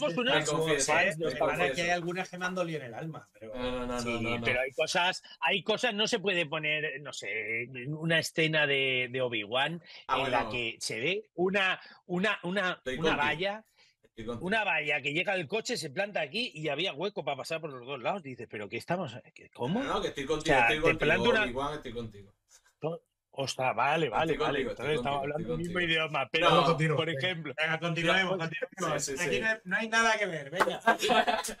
lo que hablamos David y yo es de, es de otra que todavía tiene pendiente el deber eh, yo no lo he visto tampoco. Me quedan, ¿eh? Dos. Ya hablaremos, ya hablaremos. Bueno, Leticia, perdona que te he interrumpido antes, que le iba, iba a hacer una pregunta y, justo he, interrumpido. Sí, bueno, hemos hablado de, del papel que tiene David La Cruz dentro de lo que es la, empresa, pero David y Jonathan, que estáis en la parte más creativa, eh, ¿os diferenciáis en algo? ¿Los dos em, lleváis lo mismo? un poco el papel vuestro, con, contadnos un poco. Y, si tenéis de acuerdo, y si os ponéis de acuerdo fácilmente, o no tan fácil como parece. Pero llevar, llevamos lo mismo, o sea, podemos eh, cubrirnos totalmente el trabajo de uno a otro. De todas formas, sí que es verdad que tenemos, somos personas diferentes completamente y sí que es verdad que mi hermano y yo levantamos una ceja y ya sabemos lo que queremos decir. Y muchísimas veces, el 90% de las veces, si uno dice una cosa, el otro va a decir que está bien lo que dice el otro. Eh, hay un 10% de, veces que a lo mejor le dices, eh, David, tío, ¿cómo has aprobado esto? ¿Qué, ¿Qué, ha pasado? A ver, lo miramos. Hostia, es verdad, tío. y al final llegamos a un acuerdo. O al revés. O él a mí dice, no, no has aprobado este plano y aquí hay unos traspasos de malla que. Y ostras, pues no me he fijado. Me he fijado en el acting y no me he fijado en eso. Y eso nos ha pasado. Y nos sigue pasando, pero estamos, nuestro cerebro sí que yo creo que en ese, en el, en el tema trabajo, creo que van completamente sincronizados. Es una, es una ventaja porque, por ejemplo, cuando entra, imaginad que entra un, dos guiones ese día, eh, uno se pone a, revisar uno, el otro se pone a revisar el otro, le contesta al cliente cada uno y el cliente también eh, siempre les decimos que, que, da igual quien conteste, es decir, que, que, que va desde Quito. no va, de hecho, siempre firmamos normalmente. Desde dirección, exacto. Si hay alguna duda, lo comentamos entre nosotros. Oye, mira, eh, aquí dice esto, ¿qué crees? Muchas veces, evidentemente, tenemos que contar con. Yo, por ejemplo, hay veces que hablo con el departamento técnico, lo sabe bien, Diego o, o, Leticia, y comento con vosotros, oye, esto lo solucionaríamos rápido, tendríamos problemas, y vosotros mismos me decís, oye, pues tal, perfecto, pues lo mismo que hago con, con, vosotros, muchas veces lo hago con mi hermano. Oye, ¿tú qué opinas de este plano? O al revés. Pero, eh, esto nos, nos, hace que eh, en realidad en la empresa haya dos directores de verdad. Es decir, no haya un director y un ayudante de dirección, sino que, y por ejemplo, hay que, hay que, mm, hay que supervisar planos ya terminados o pues lo que hacemos es repartirlo. Eh, yo voy a elegir el 26, el episodio 26, vale, pues yo me pongo con el 27 o, algo así. Esto hace que cuando falta uno de los dos, por cualquier motivo, suframos mucho. ¿Vale? De hecho, el, tiempo que hemos estado dando clase en, en ESAT nos ha encantado porque nos han tratado fantásticamente bien y ha sido muy bueno para Keitu, pero el día que falta uno, el otro lo pasa mal, porque trabaja el doble, literalmente. Y aparte la ley de Murphy, se junta que es el problema. Ese, día ha pasado algo con la entrega o, pero, pero una luz y no funciona el disco. Normalmente lo que hacemos es eh, repartirlo todo al 50%, Leticia. Eh, prácticamente es así. A ver, nosotros podemos decir, porque en, todo el tiempo que llevamos trabajando con vosotros, eh, que al final cuando trabajamos, ahí surge cualquier cosa en un plano o lo que sea, la gran mayoría de veces siempre tiramos a preguntar por la persona con la que hemos hablado antes para hacer o para hacer un rig o para dar cualquier retake o cualquier cosa que se haya hecho. Pero llega un momento en el que, si, mira, David está reunido, bueno, pues vamos, se lo dice a Jonathan, que Jonathan tal, pues se lo dice a David, no hay ningún problema, siempre, siempre hay, no es como decir, nada, nada, David va a encargarse directamente de esto y a Jonathan ni le planteamos nada. Es por comodidad, simplemente por decir, bueno, ella lleva el seguimiento de esto, si pregunto al otro, tendrá que mirar, pero ¿qué ha mi hermano? ¿Pero qué, ¿Cómo bueno, además, yo, y yo creo además que esto es un sistema de, de blindar el trabajo en Keaton, porque hay veces que si, si, si, una persona únicamente se dedica a personajes, o yo qué sé, o... Esto es un error. Claro, eso lo que sucede es que falta un día esa persona y ese departamento se queda, o los guiones, solamente lo revisa tal. No, porque al final eh, nosotros no paramos la maquinaria si falta uno. Mm. Hay, claro, y hay, hay veces que, que sí que es verdad que a lo mejor parece que está, por ejemplo, no sé, si está mi hermano mirando todo el rato a ver si alguien dice algo y lo contesta, a lo mejor yo estoy, mm, no sé, ha llegado un mail que son con los cambios y miro uno por uno los cambios y contesto a cada uno de los cambios con lo que vamos a hacer. Cuando a alguien le toca hacer eso, es un trabajo no, son dos horas perdidas en haciendo. Son dos horas metido ahí mirando, a ver, que me en este que ha dicho, ah, ¿no? Y tienes que mirar el plano, ver la continuidad, ver todo, ver si se puede hacer y, cómo va a afectar al resto. Porque no es solo ese plano, es que si tú cambias esto, voy a tener eh, seis planos que cambiar y se lo tienes que decir, mira, esto mejor no lo vayamos a hacer porque vamos a afectar a seis planos. Aún así, pues bueno, eh, los dos la verdad es que nos gusta lo mismo, ¿eh? O sea, a, mí yo prefiero, por ejemplo, mirar el tema de acting y demás que ponerme a leer y releer y releer guiones porque claro, nos gusta. Claro, a los dos nos gusta. Son muy productivos porque claro. tienes una, una, cosa y otra otra, como si tuvieras un hermano gemelo que hiciera lo mismo que tú. Sí, sí, sí, Claro. vamos. Entonces, claro, y, no hay cuello de pero no uno pero uno no se pone a pesar todo el rato sabes no se pone a pesar vértices todo el rato y el otro a hacer huesos. no no o sea aquí si te toca un día huesos pues huesos y el otro a, sí, sí, sí.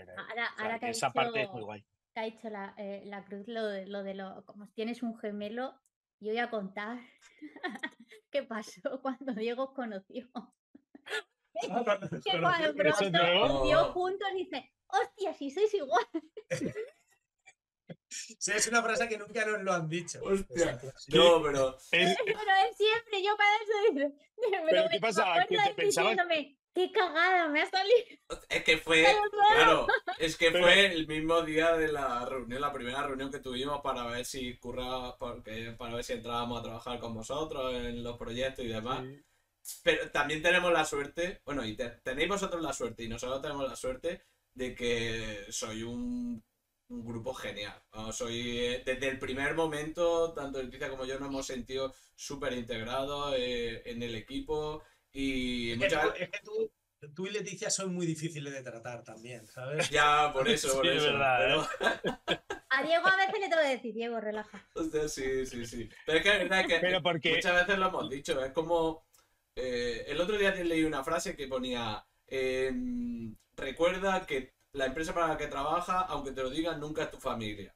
Hostia, pues sinceramente me mm. parece que, eso está muy bien para ciertas cosas, pero eh, no creo que sea, no tiene por qué ser así.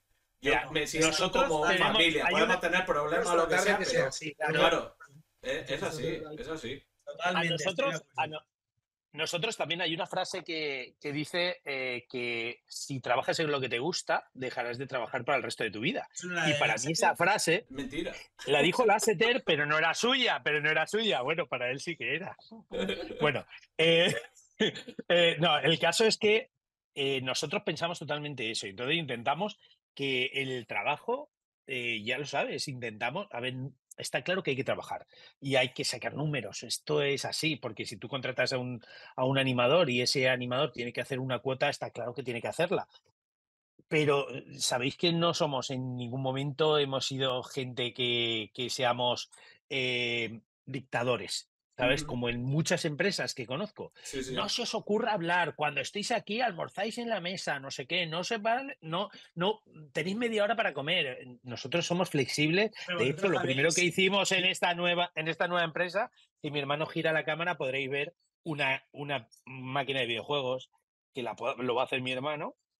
Y ahí tenemos una máquina de videojuegos con con miles de juegos, mm, miles y miles de juegos y todo, y, la, y la gente hace competiciones y está, siempre hay alguien jugando. Y es una de las cosas que queremos. Nosotros queremos que nuestra, que nuestra empresa, la gente se sienta querida. Eh, eso no quita para que a las cuatro y media piquemos espuela a todos, ¿eh? Nosotros los primeros, ¿eh? Nosotros Diego y Leticia curran más horas que nosotros. Eso también lo hemos, eso también lo, tenemos clarísimo porque los primeros años de Keitun sí que fueron matadores. O sea, hicimos, hemos llegado a hacer tres días, o sea, entrar un sábado por la mañana y salir el lunes por la mañana. De, del, tirón, ¿eh? haciendo unos anuncios para Disney. Y para Disney Channel. Y eh, eh, al principio puedes hacer todo eso porque no tienes hijos, porque es tu pasión, porque disfrutas y porque parece que no estás trabajando, ¿sabes? O sea, no, no me veo un reponedor de Mercadona diciendo voy a reponer todo esta noche y, me voy a tirar todo el fin de semana reponiendo porque quiero tener toda la tienda. No, porque yo supongo que eso es un trabajo, pues eso, un trabajo para, por el dinero. Pero cuando tienes la suerte de trabajar en algo que, que te enamora y que te gusta, un pues, saludo a los. Eh, puedes llegar a hacer. de, Mercadona. hola, hola, Rocha. Bueno, entonces. Entonces, lo que bueno, yo en el Mercadona no, pero en el corte inglés no me iba hasta que no lo reponía todo. sí, sí. Pero es que tú, te tomas los trabajos mm, siempre igual. Muy a pecho, eh, Lo haces todo perfecto. Eso con la edad se cura. Sí, no te preocupes. Ya se te quitará. No, te preocupes. no, nosotros, al final es, al final hay que trabajar, hay que trabajar, hay que disfrutar del trabajo, porque es donde más tiempo vamos a pasar, pero, pero también hay que dedicarle tiempo a otras cosas. Es algo de los primeros. La frase siempre es al resto. Estáis perdiendo dinero. el dueño. El dueño. ¿Cómo? La frase favorita es me abro en abanico. Desaparece. Pues una cosa, un tema que quería comentar con vosotros, que queríamos preguntaros era eh, el tema de la migración que hiciste en su momento a Blender. Eh, hace unos eh, años. Nosotros, en, en, en, hemos tenido varias migraciones. Migraciones. De hecho, nosotros empezamos con 3D Studio Max, era un programa que adorábamos. Y, poco a poco se fue deteriorando y el, y el mercado viró, como todos saben, a Maya. Y nosotros pues cambiamos a Maya, estuvimos 10 años con Maya, ¿eh? 10 años. Lo que pasa es que eh, eh, pues siempre le habíamos echado un ojo a, Blender porque nos parecía muy interesante. Y yo creo que la versión que nos hizo cambiar... La... 3. ¿Cuál era la? No, la, 2.8. La, 2.8. La 2.8 nos, cuando cambió el, interface, cuando ya por, fin podíamos apretar con el izquierdo. Sí, sí, sí, sí, ah, eh, hubo, hubo, un momento hubo un momento que nosotros al decirlo perdimos gente, ¿eh? perdimos gente interesante en, el transcurso, gente, animadores, eh, eh gente se vi que un montón. Que no, no se quiso adaptar. Sí, no se quiso adaptar. Entonces, la, esa, esa, ese cambio lo hicimos, estábamos en medio de un proyecto y recuerdo perfectamente lo mismo que hicimos con Unreal. ¿eh? Unreal, cuando nos metimos en Unreal, fue en un proyecto pequeño que hicimos, bueno, pequeño, era una serie de 10 episodios, creo que era, ¿no, David? La de Happy. Sí. Eh, y cuando nos metimos para, para Movistar, y cuando nos metimos en ese proyecto, aunque era un proyecto para una empresa muy grande, era una serie pequeñita de pocos personajes y demás, y bastante fácil de llevar, y decidimos meternos con Unreal. Seguíamos con Maya y lo hacíamos en Unreal. ¿Y qué pasó? Que vimos que, hicimos el cambio correcto. Y cuando vimos que empezábamos a tener esa, esa potencia de render que tiene Unreal y adaptarnos a ese nuevo proceso, cambiamos también. Eh, fue un momento dado en el que a mí me gustaba mucho probar el tema de, los nuevos softwares y siempre estamos mirando, ahora nos está pasando lo mismo con la IA, ¿no? Mirando todo lo que sale, lo estamos mirando y lo, mm, vemos cómo podemos implementarlo dentro del pipeline.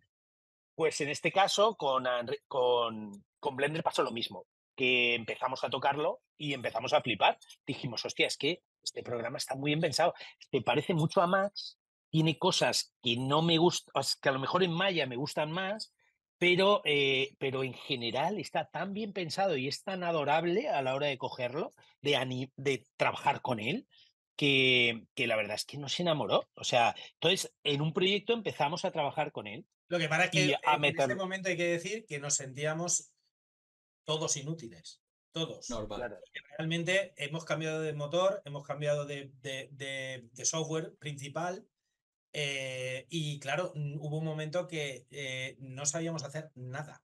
Entonces, claro, eh, ahí te encuentras con, con una, un dilema grande. O aprendes rápido o, O, tratas de encontrar gente competente que sea capaz de, de, sacarte las castañas. Por eso en el caso de la gente que era supervisor de, un software que dice, también es un ejercicio por esa gente de, responsabilidad de decir, Yo no estoy para supervisar en algo que no tengo ni idea. No controlo tanto como lo que tenía.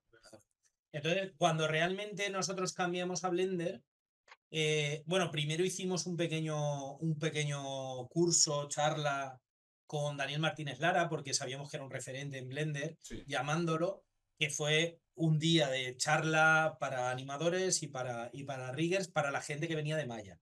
Entonces, eh, bueno, eh, la verdad es que nos ayudó Dani a, ver un poquito qué herramientas tenemos que usar, por dónde ir y tal, pero realmente eh, la tranquilidad llegó cuando nos encontramos a vosotros, eso es verdad, porque, porque nosotros de, tener todo muy claro, todo nuestro pipe, no, es verdad, o sea, nosotros encontramos... Deja, deja que hable, deja que hable. Nosotros encontramos a Pixelodion y, y, realmente junto con Pixelodion es como hicimos el nuevo pipe. Bueno, lo que, lo ha quedado muy bien Leticia, ha quedado muy bien Leticia. En el, luego le pasamos el, sí, la minuta, la minuta. La cuenta sí.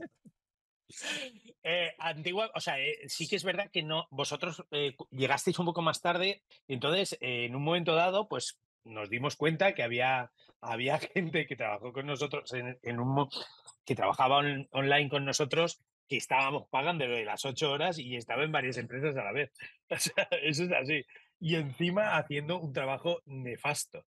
Entonces, hubo un momento que pensamos que debíamos retroceder y, llegar, y irnos otra vez a Maya por ese, por ese mismo problema. Y fue cuando llegasteis vosotros.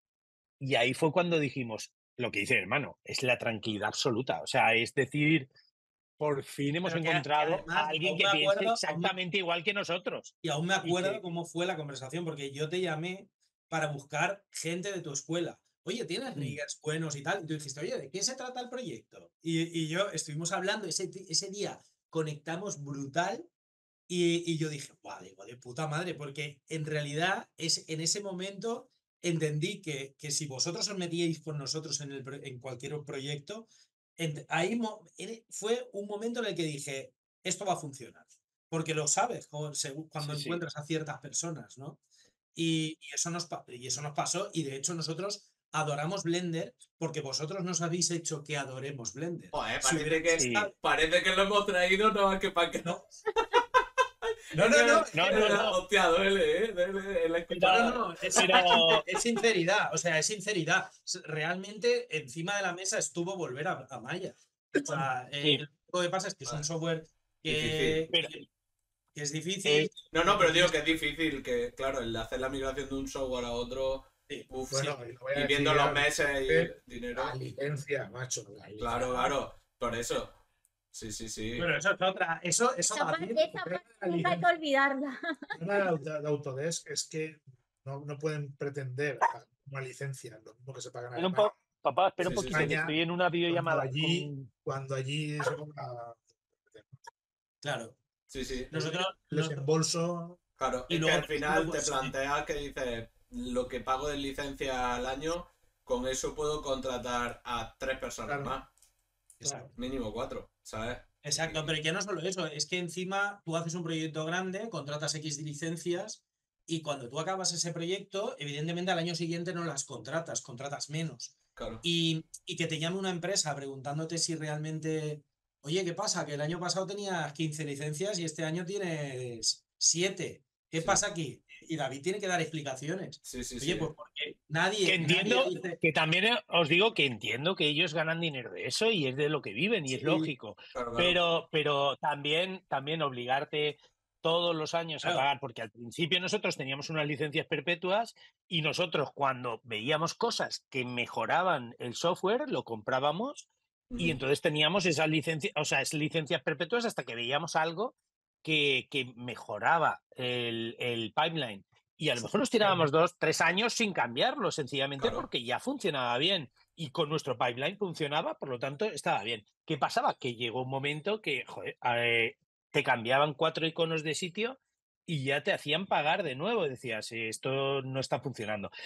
Pero Lo, lo, dicho, nadie, nadie que tenga una empresa te va a decir que cambian de software solo porque sea gratis, porque Blender ha sido gratis toda la vida. Parte que la parte que... Claro, a ver, que es un, es un incentivo, es, un plus, es, buenísimo, es un plus. Fuera, eh, Blender ha sido gratis siempre, pero si no, claro. productivo. Si no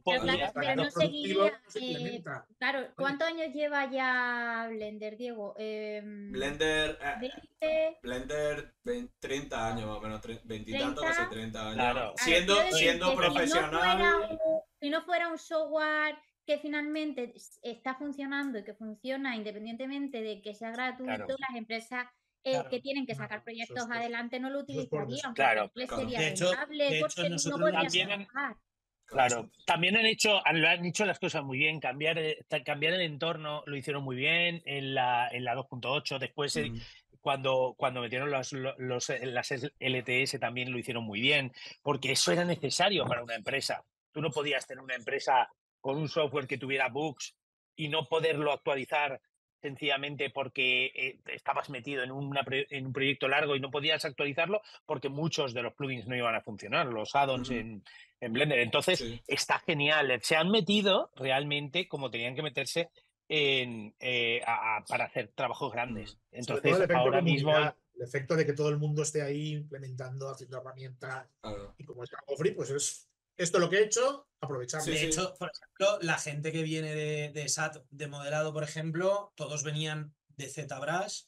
eh, con un nivel alto de ZBrush, y todos los que han venido aquí, después de estar una temporada con Blender, modelando en Blender, esculpiendo, eh, nos han dicho que diéramos de baja la, licencia de Z porque no la usaban ya.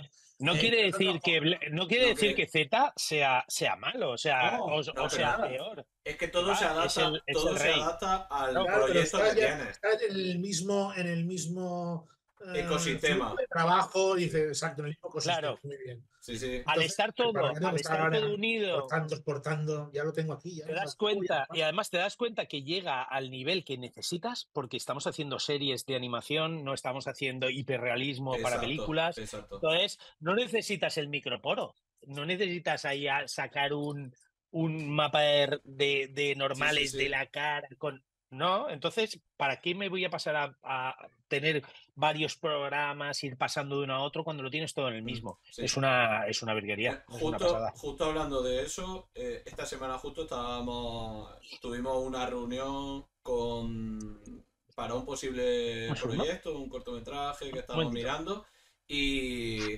y estábamos comentando, no voy a decir nombre, Leticia, privacidad, está, a ver si se me va a escapar, pero no. Eh, y, el, la persona que nos estaba proponiendo hacer el proyecto es una persona que, que es super pro de, de Z, ¿vale? Y es, y es super pro también en muchos otros software y, y estábamos hablando y su idea era hacer lo que es el proyecto, por ejemplo, con Blender, con Unreal y con otros software y nosotros estábamos planteando el poder hacerlo todo dentro de, Blender, directamente. Mm, ah, incluyendo, incluyendo render. Incluyendo render, claro. Estábamos viendo, Blender ahora implementa el nuevo Eevee, mm. el Eevee Next, mm. que es algo similar, no llega a la potencia de un Real, pero que lo que pasa es que tenemos la ventaja de al estar todo dentro del mismo software, te ahorra el tema de hacer la exportación, el tiempo de exportación, el tema de de que te falle algo que ahora lo que pasa muchas veces, ya lo sabemos. Trabaja con, con Blender, exporta y hay algo con Real, la exportación que coge, la Lembic no te coge este parámetro, no coge no sé qué. Todo ese tipo de cosas, lo puedes. Entonces, Blender la ventaja que tiene es que al ser, al poder hacerlo todo en la misma línea, se puede modificar todo en, en, en tiempo, súper rápido y lo coge todo. Entonces, eh, ya os digo que, es una herramienta que ahora mismo se está valorando mucho más de lo que mucha gente que hablamos y, te dice, no, no, pero es que Maya en la industria, es que Maya no sé cuánto. Sí, dile, dile a alguien de Maya que haga algo como el Gris Pencil, por ejemplo, lo que puedes hacer con Gris Pencil. O sea, hay ciertas herramientas que no tiene ninguno. Sí, sí, sí. Entonces, o el modelado que tiene Blender no tiene el, no sé, eh, la escultura de Blender no tiene ni Maya, ni Max, ni ninguno. Entonces, eh, es, un, es un programa que, ha llegado por méritos propios a estar donde está. A vosotros está funcionando Absolutamente. Y encima es que es muy bonito, que es lo mejor. Lo abres y dices, qué bonito es. Es verdad, porque hay programas que los abres y dices, pero ¿quién ha hecho estos iconos? Por Dios. solo por eso, a lo mejor es que nosotros venimos del diseño y, eso lo apreciamos mucho. Pero yo ver un programa que está bien parido, que no hace falta, incluso eh, me sorprende trabajar en una pantalla solo, pues yo siempre he trabajado con muchas pantallas y sigo trabajando con múltiples pantallas, pero sí que es verdad que es un programa que si tienes una en un portátil, puedes seguir trabajando. Y es increíble que puedan conseguir eso cuando otros es imposible trabajar así. Entonces, está muy bien. hecho. Leticia. pesa, te pesa 300 megas, lo puedes meter en Pues sí, sí. y que tiene, y tiene, y tienes para instalarlo para que si, si, en vez de instalarlo puedes hasta ejecutarlo directamente portable. portable. Y es más, algo que, que, también tenemos que plantearnos, depende ya, ya lo hablaremos más fuera del podcast, en la 4.2 que ha salido ahora la STL, tiene una cosa súper, súper potente que le han hecho precisamente para los estudios, que es que directamente tú puedes crearte tu propia tu propio ejecutable de Blender con todos los add-ons y con toda la configuración completa de que quieras. Qué bueno. Ahora llega Keaton y dice, mira, para cada persona que empieza en el estudio, le mandamos directamente nuestro Blender y ya tiene todo directamente a arrancar y ya lo tiene absolutamente todo, toda la configuración. ¡Qué maravilla! Es una pasada, está súper, súper, súper potente. Por eso te digo que esas cosas, yo no he visto ese cambio en Autodesk, en Autodesk en ninguno de los softwares de Autodesk, porque eran, eran pequeños cambios que iban surgiendo. Mira, han metido esto. Sí. Claro, y al final abrías un archivo, te tardaba 45 minutos en abrir un archivo y decías, tío, ¿pero por qué? Yo siempre he eh, dicho, oh, en, yo... en, en, dando clase eh, se está utilizando 3D Studio Max. Ahora creo que este año que viene se va a pasar a Maya en algunos, en algunos campos, pero, pero se seguía usando el año pasado 3D Studio Max. Y yo siempre a los alumnos les he dicho que si se van a hacer profesores alguna vez, que no lo sean de Max. Porque es, eh, o sea, yo no es lo que sepa, es lo que sé que va a fallar. O sea, en realidad tienes que estar todo el rato luchando con el programa. Y cuando al final encuentras un software que realmente funciona, eh, dices, hostia. Que todos, todo, peta. todo peta. Todo peta. Sí, pero, da igual, pero, pero no puede ser que haya una petada que lleve 10 años sin arreglarse. ¿Sabes? Y pasa en otros softwares. Y en, y en Blender, cuando peta una cosa, oyen a la comunidad y saben perfectamente que tienen que arreglarlo. Y hoy en día, para mí, el software en más en forma es Blender, sin duda. Sí. Bueno, Leticia, de, hazle alguna preguntilla, vamos a seguir, porque nosotros ya, ya sabemos que, no tenemos fin. Ponemos... No, no, no te preocupes. Ya lo que haga falta. A ver, ya hemos estado ahí, estado comentando un poco eh, en lo que ah, estáis trabajando ahora, pero no sé si podéis concretar un poco más, hablarnos un poco más en lo que estáis ahora eh, en el presente. David, pues la Cruz, un poquito.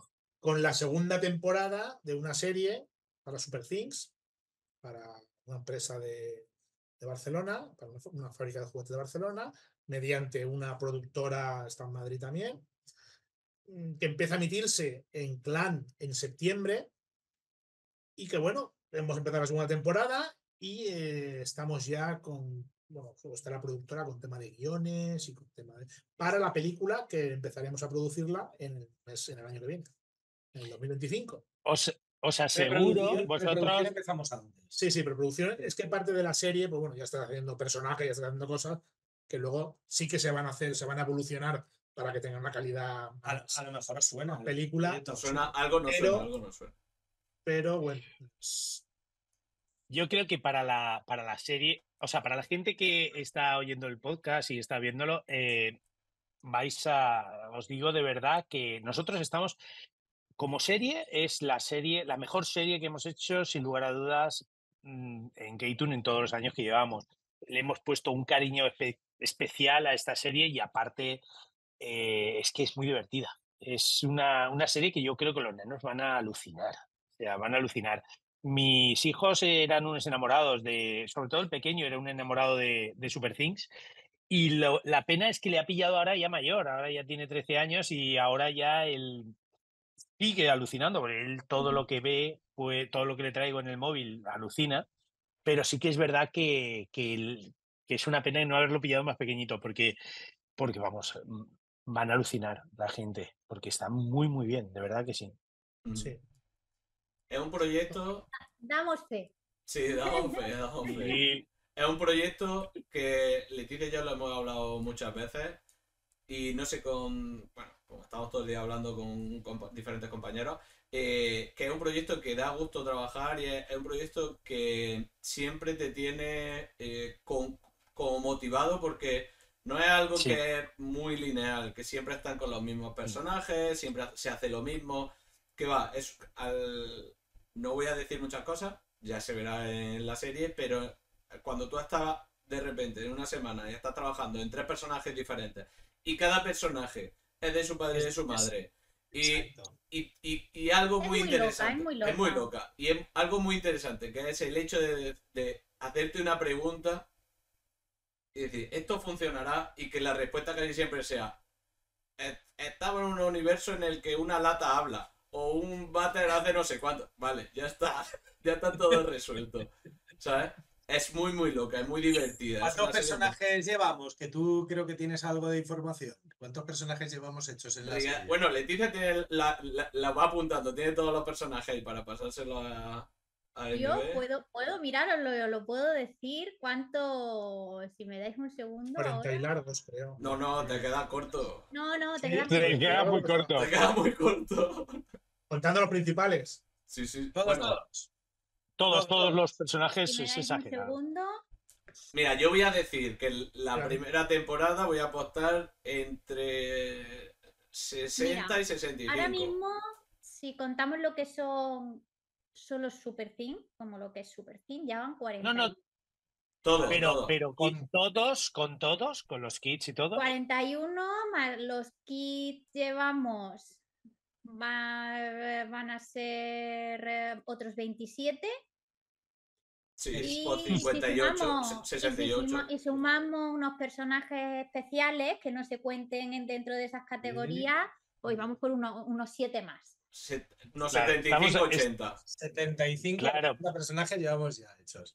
Eso es, una, cosa, la, flexibilidad que, que hemos conseguido gracias a, evidentemente, a vosotros y, gracias Que no, no diga porque al final nos lo vamos a creer y todo. no, no, no, pero eh, estoy hablando de, estoy hablando de rigging, estoy hablando de rigging, del equipo de rigging, que sé que, que, sois más, pero el equipo de rigging, eh, o sea, 75 personajes es mucho personaje. No sale, no, sale ni en la ni en la película más grande de Disney. Es súper loco, es súper loco.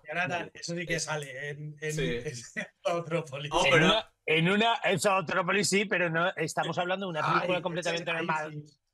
Pero pon, por ejemplo, no sé, Frozen. ¿Cuántos personajes realmente salen en Frozen? No, pero, no lo sé, ¿eh? Pero es súper loco. Estoy seguro que se quedarán en 30. mucho. El otro día estábamos hablando, por ejemplo, del Lightyear, de la peli de, de Buzz Lightyear.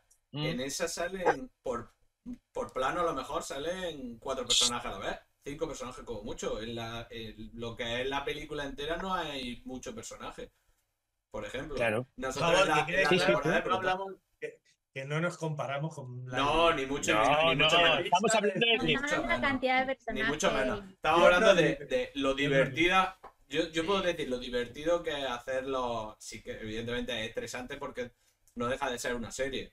Eh, si estuviésemos trabajando en una peli con de americana con un presupuesto, como hemos dicho antes, de 200 y decimos, para modelar el personaje tienes un mes para hacer el rig mes y medio.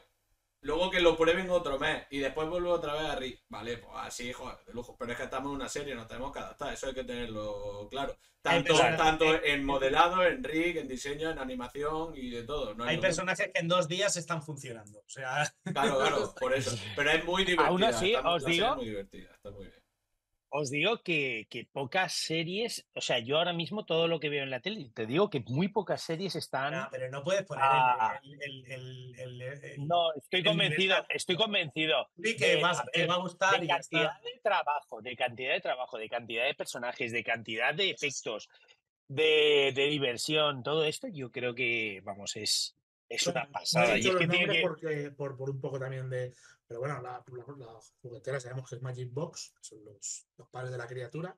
Tandem Films es la productora que se encarga de, de conseguir el, dinero, de ponernos a todos de acuerdo. Y luego la distribuidora que es Filmax, eso ya es una de... Está muy guay.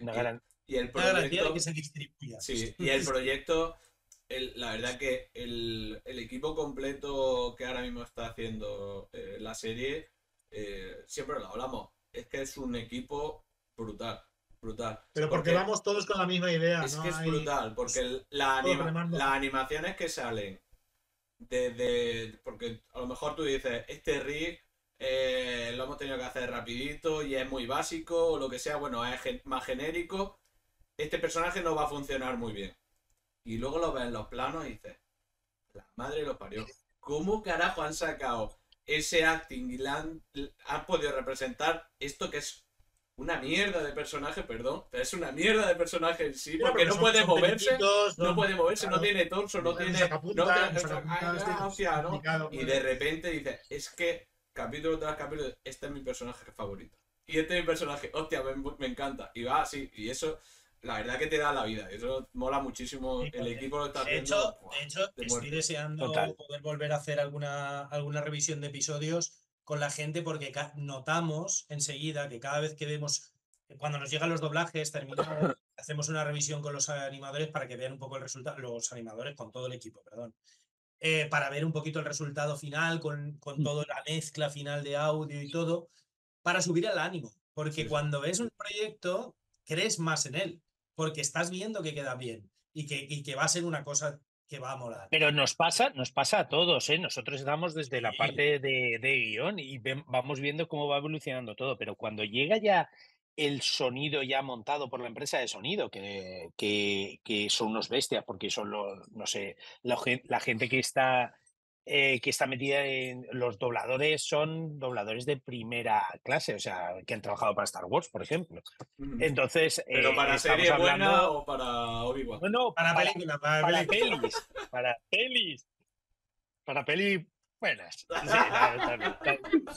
no, eh, tenemos a, a, la actriz de doblaje que hace que dobla normalmente, habitualmente a Natalie Portman, entonces increíble, ¿no? O sea, y entre otros, ¿eh? Y, la verdad es que cuando lo vemos ya con la música, que es espectacular, la música es increíble. Y cuando ya lo ves todo eh, el paquete montado, dices, joder, ¿qué, qué, episodio nos ha quedado, o sea, increíble. Alucinamos nosotros, que llevamos 20 años con esto, mm. yo espero que la gente cuando lo vea alucine como mínimo la mitad que nosotros. Lo va a hacer porque cada capítulo va mejor la cosa, la, es que el equipo entero, si es que parece que es como hacer la mm. pelota, pero es que, es que tú, tú, vas a render y ves las iluminaciones, los planos que salen y queda brutal. Pero dices, no puede quedar mejor. Te llega Jordi y te hace una compu de muerte y dices, es brutal, es verdad. Es no ponemos el high alto, es que, en cada tiene que estar.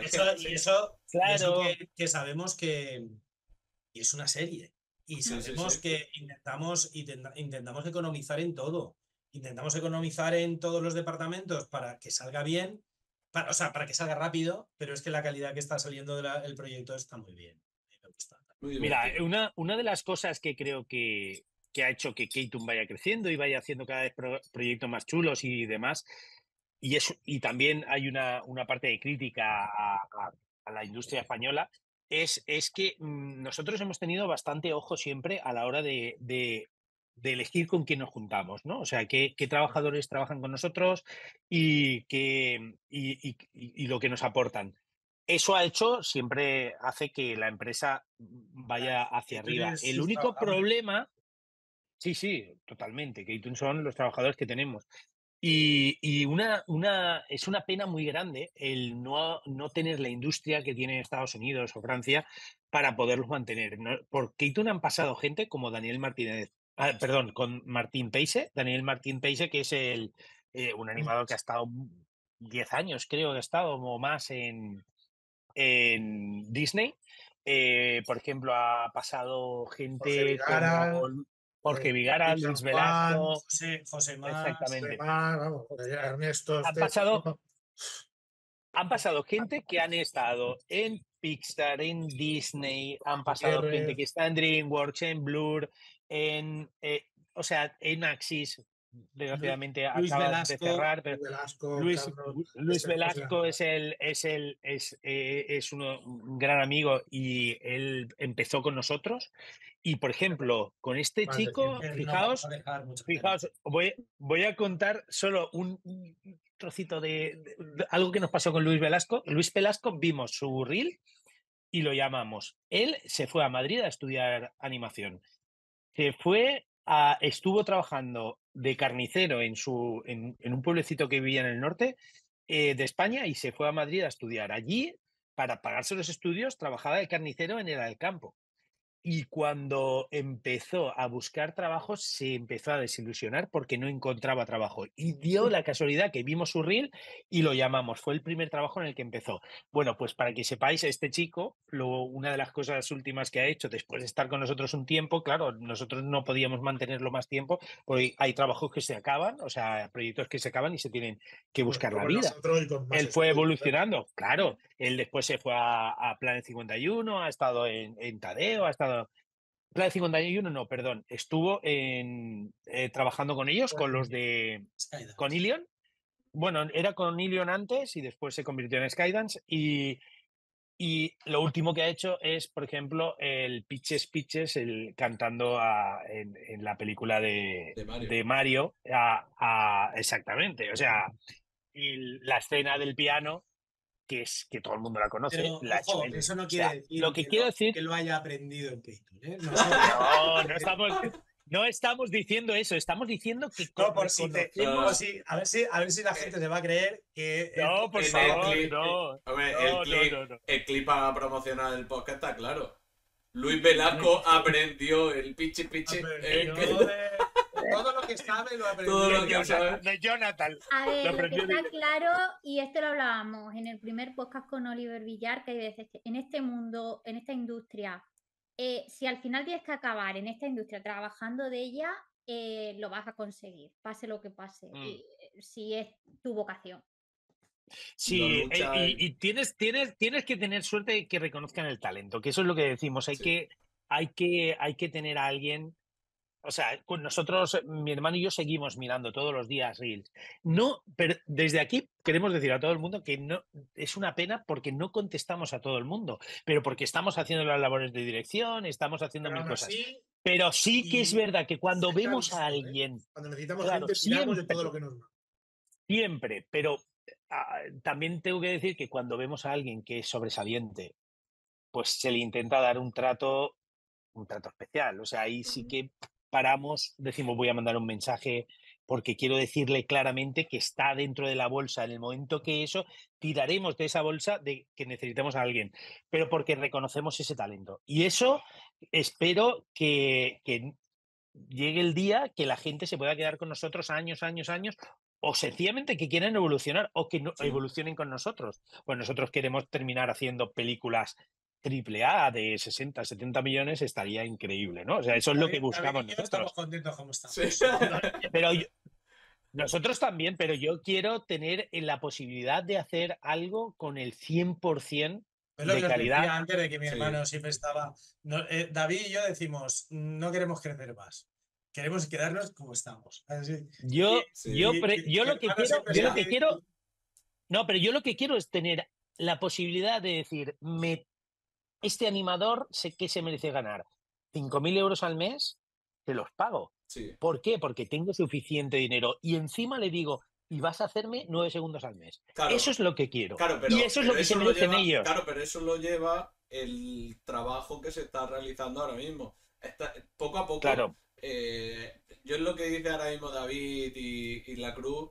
Eh, también con Leticia lo hemos hablado muchas veces. Coincide en poquito a poquito. No, el, el morir de éxito es lo peor que te puede pasar. No tiene los 500. Es que lo que te puede pasar que de repente. claro, sólidos. De repente te llega un proyecto en el que te requiere. A, de, pasa de tener 45 personas a tener 200 y es inasumible y, la Ahora ya no me daría miedo el crecer más. No porque sé cómo, cómo lo estamos llevando. Ahora, pero si, te, pero si te hubiera pasado cuando estabas con 20 o con 15. De hecho, nos, de hecho, eh, en un momento dado, eso no sé, bueno, lo hemos comentado alguna vez, pero en un momento dado, eh, Sergio Pablos, eh, nos reunimos en Valencia porque nosotros teníamos una productora americana que también había contactado con él y demás, Nina Rapaport, y Sergio Pablos trajo el proyecto suyo bajo el brazo de Gru, que se llamaba Despicable Me. Y cuando lo trajo, lo, lo leímos en la mesa de Keaton, o sea, en la mesa de las reuniones. Alucinamos. Y Nina eh, fue la, la que buscó el dinero de Group 1 y lo buscó por todo Estados Unidos. Pasó por todas las majors, ¿vale? Y cuando yo, aquí hay un dato muy, muy, muy bueno, espero que nunca llegue a Spielberg, pero DreamWorks fue cuando llegó a DreamWorks y enseñó el proyecto, le dijeron que no, le, que no les gustaba, pero ellos crearon Megamind y es exactamente la visión de, desde los ojos del malo, ¿no? En una película. Eh, y, ellos tuvieron el fracaso de taquilla y, Gru tuvo el éxito. Que encima adelantaron a incluso a, Gru, teniendo la idea inicial ya. Pero claro, no tenían el dinero y, DreamWorks sí. Bueno, lo que quiero decir es que en ese momento nosotros podríamos, querríamos haber sido Illumination y haber sido Macaf en ese, porque Macaf fue los que pero no Lo pero no lo éramos, éramos pequeñitos. ¿Qué hubiera pasado si en ese momento hubiéramos dicho, hubiéramos conseguido esos 60 millones o 70 que consiguieron para hacer la peli y lo hubiéramos hecho? A lo mejor nos hubiéramos muerto de éxito, sencillamente, lo hubiéramos hecho mal, hemos ido creciendo poquito a poco, eh, lo hemos pasado bien en el camino y ahora ya veremos a ver lo que pasa. sí, sí, sí. pero vamos, ahora yo yo creo que ahora tenemos ya 50 años. Bueno, mañana ese señor que se llama La Cruz cumplirá 51. Olé. Pero estamos ya en, un, en una época que ya sí que un proyecto de esa categoría, yo sí que lo cogería con, con muchas ganas. La película de Super Things es una película de bajo presupuesto, pero, pero lo vamos a hacerlo y estoy seguro que increíblemente. Claro que sí. pero con un aspecto. Bajo presupuesto comparada con lo de siempre, con Francia, con Estados Unidos. Claro. Y estamos ya. ya Estamos en un. A ver, estamos en un presupuesto ah, buenísimo para nosotros, pero está claro que no se puede comparar con un presupuesto de Illumination. pero bueno, eso es lo que quiero nosotros, para que te hagas una idea, ahora mismo, eh, en lo que sería, en, por ejemplo, en animación, por poner un ejemplo, tenemos un ratio de el doble de tiempo para hacer para un animador en la serie. Que sí, que no es mucho, pero, pero es un. Es un. Es un buen. Eh, es una buena herramienta para hacer que los planos sean mejores. con más calidad, que la gente pueda dedicarle más cariño a. y la gente viene rodeada de la serie. Mucha librería, mucho. Claro. hay, muchas cosas que se pueden hacer mejor. Se están haciendo las cosas muy bien. Por, parte de, de la productora, distribuidora, de, la juguetera, de todos. Mm. poquito a poquito. Va a ser un éxito seguro. Seguro que saldrá bien. Llegaremos, llegaremos. Vale, para ir. todavía no queda hay cosita que, hablar, pero bueno, para ir un poco acercándonos ya al final. Eh, ¿Podéis contarnos alguna anécdota así interesante? Que sé que tenéis un montón. ¿Alguna que se pueda contar, eh, David? ¿Alguna que se... ¿Alguna que se pueda tenemos una tenemos una muy, muy graciosa. Eh, por ejemplo, no sé si, si, coincidiremos con la de Alejandro Mateo cuando trabajaba. Es la que yo tenía. bueno, primero Alejandro, eh, Alejandro, Mateo, fue, fue socio nuestro. Que, la verdad es que lo queremos un montón y, y fue eh, un pilar de, desde el inicio. Y, bueno, decidió irse en un momento dado, a hacer películas. Y la calidad increíble, es un iluminador maravilloso. Y, ese está, en, está en Skydance, ¿eh? O sea, es, es, uno de los grandes. Es un, un, currante nato. Un currante nato. increíble. Con él, con él eh, era, era muy fácil. A ver, eh, trabajar porque él sabía lo que quería hacer, se ponía y era una máquina, o sea, era una bestia. Y, bueno, pues un día se fue a trabajar un fin de semana que dijo, quiero terminar esto y me voy a venir. Y se vino, no sé si era sábado o domingo, y, se, y vino, vino allí y dice que eh, estábamos antes en, en, el barrio de Campanar y de Valencia mm, teníamos la oficina, una oficina que tuvimos durante 15 o 16 años, ¿no? Un poco más. Es un edificio que es todo pisos de alquiler y la primera planta y los bajos de oficinas. eran de locales comerciales, de oficinas. Y en, y en esa oficina, que es donde más tiempo hemos estado, que estábamos ahí eh, cerca del, del, hospital 9 de octubre, bueno, una zona que, que, tenía bastantes servicios y tal, pues en nuestra, en nuestra finca había un prostíbulo. Bueno, era una, una sala, de, una, una, esto de, de, masajes. vamos a masajes, masajes. Y por lo visto hubo uno que no quiso. Bueno, el caso es que él estaba trabajando y oye la puerta que llaman y dice: ¿Un domingo llamar? ¿Cómo? Y se acerca a la puerta, mira por el, mira por el, la mirilla y ve a la Policía Nacional. Y abre y dice, se iban. Y dice, ah, y se iban ya, porque él le llevaba los cascos y no los había oído. Pero cuando yo golpes, dijo, ostras, voy a ver si ha llamado. Y, y lo vio que se iban. Y dice, mm, sí, pasa algo. Y dice, oh, dice, ¿vosotros tenéis un, un balcón ahí enfrente? Y sí, estaban cerradas las persianas. dice, sí. Y dice, es que tienes a un hombre desnudo desnudo dando gritos en el balcón. Ah, no lo sé si estaba en calzoncillo. Sí, creo que Iba Había saltado del piso de arriba. Había saltado del piso de arriba porque no quería pagar o algo así. Había saltado, se había roto el tobillo o un esguince o algo. Y el tío estaba gritando socorro desde, desde ahí, desde el balcón. Y claro, la gente había llamado a la policía para, para eso. Y, y lo sacaron por Keitun y se lo llevó la policía. Pero ese, o sea, cuando nos llamó y nos lo dijo, no me lo puedo creer. Buenísima. Pero bueno, pero en este, en este tiempo hemos tenido cosas muy, muy chulas. Eh, Nosotros pensábamos que era algo así porque subían así algunas así muy, muy descaradas, muy de, ostras, la chica. Y luego sí que es verdad que algún amigo que tengo taxista y eso decía, ostras, Tamarindo 21, ahí llevo ya mucha. Creo que tenéis, ostras, pues ya lo cuadramos todo. Yo me di cuenta porque me decían las chicas y, y yo no soy tan guapo. Ay, mi amor. Triunfo mogollón en esta escalera. Pero no.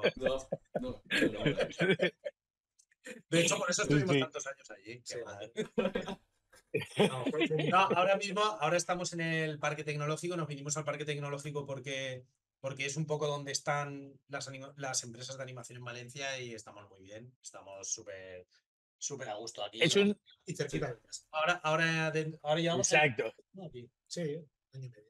Es, siempre hemos intentado estar más cerca de, de, la ciudad para que la gente pues, pueda llegar de una forma más cómoda, pero al final llegó un momento que, que necesitábamos pues eso, que cuando vinieran clientes y demás, que vieran... mucha gente trabaja desde casa, ya no es tan importante.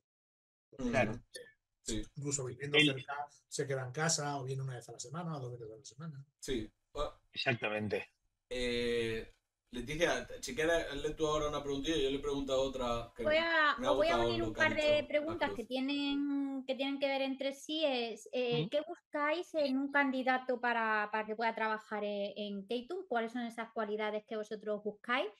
¿Y eh, ¿qué, tipo de perfiles son los que creéis que, podéis llegar a necesitar en un, futuro? Que se pueden llegar a necesitar más en, el estudio. Mira, lo, que buscamos cuando nos, entra algo, eh, un correo, eh, normalmente lo que vemos, a mí me, da un poco igual lo que, lo que llegue. Ya, lo que quiero decir es lo que llegue de, modeladores, de, de riggers, de, da igual lo que llegue. hay, que, hay que ver esa calidad en ese aspecto en concreto. Eh, generalistas ya no se lleva. Es una pena, eso era lo que éramos nosotros. Nosotros lo hacíamos todo. Y Diego también. Y, y, eso se llevaba antes en la, en la España eh, de, de, los, de los 2000. Eh, y se llevaba sencillamente porque si querías hacer algo, tenías que hacerlo todo, porque no te podías juntar con un amigo que había estudiado modelado, el otro había estudiado RIG y el otro había estudiado... Porque nadie lo había estudiado. no existía. Nadie tenía siquiera para estudiar. Era el programa, había estudiado el programa en concreto. Claro, entonces al final nosotros nos metíamos en las cosas y estudiábamos las cosas porque necesitábamos eso para avanzar.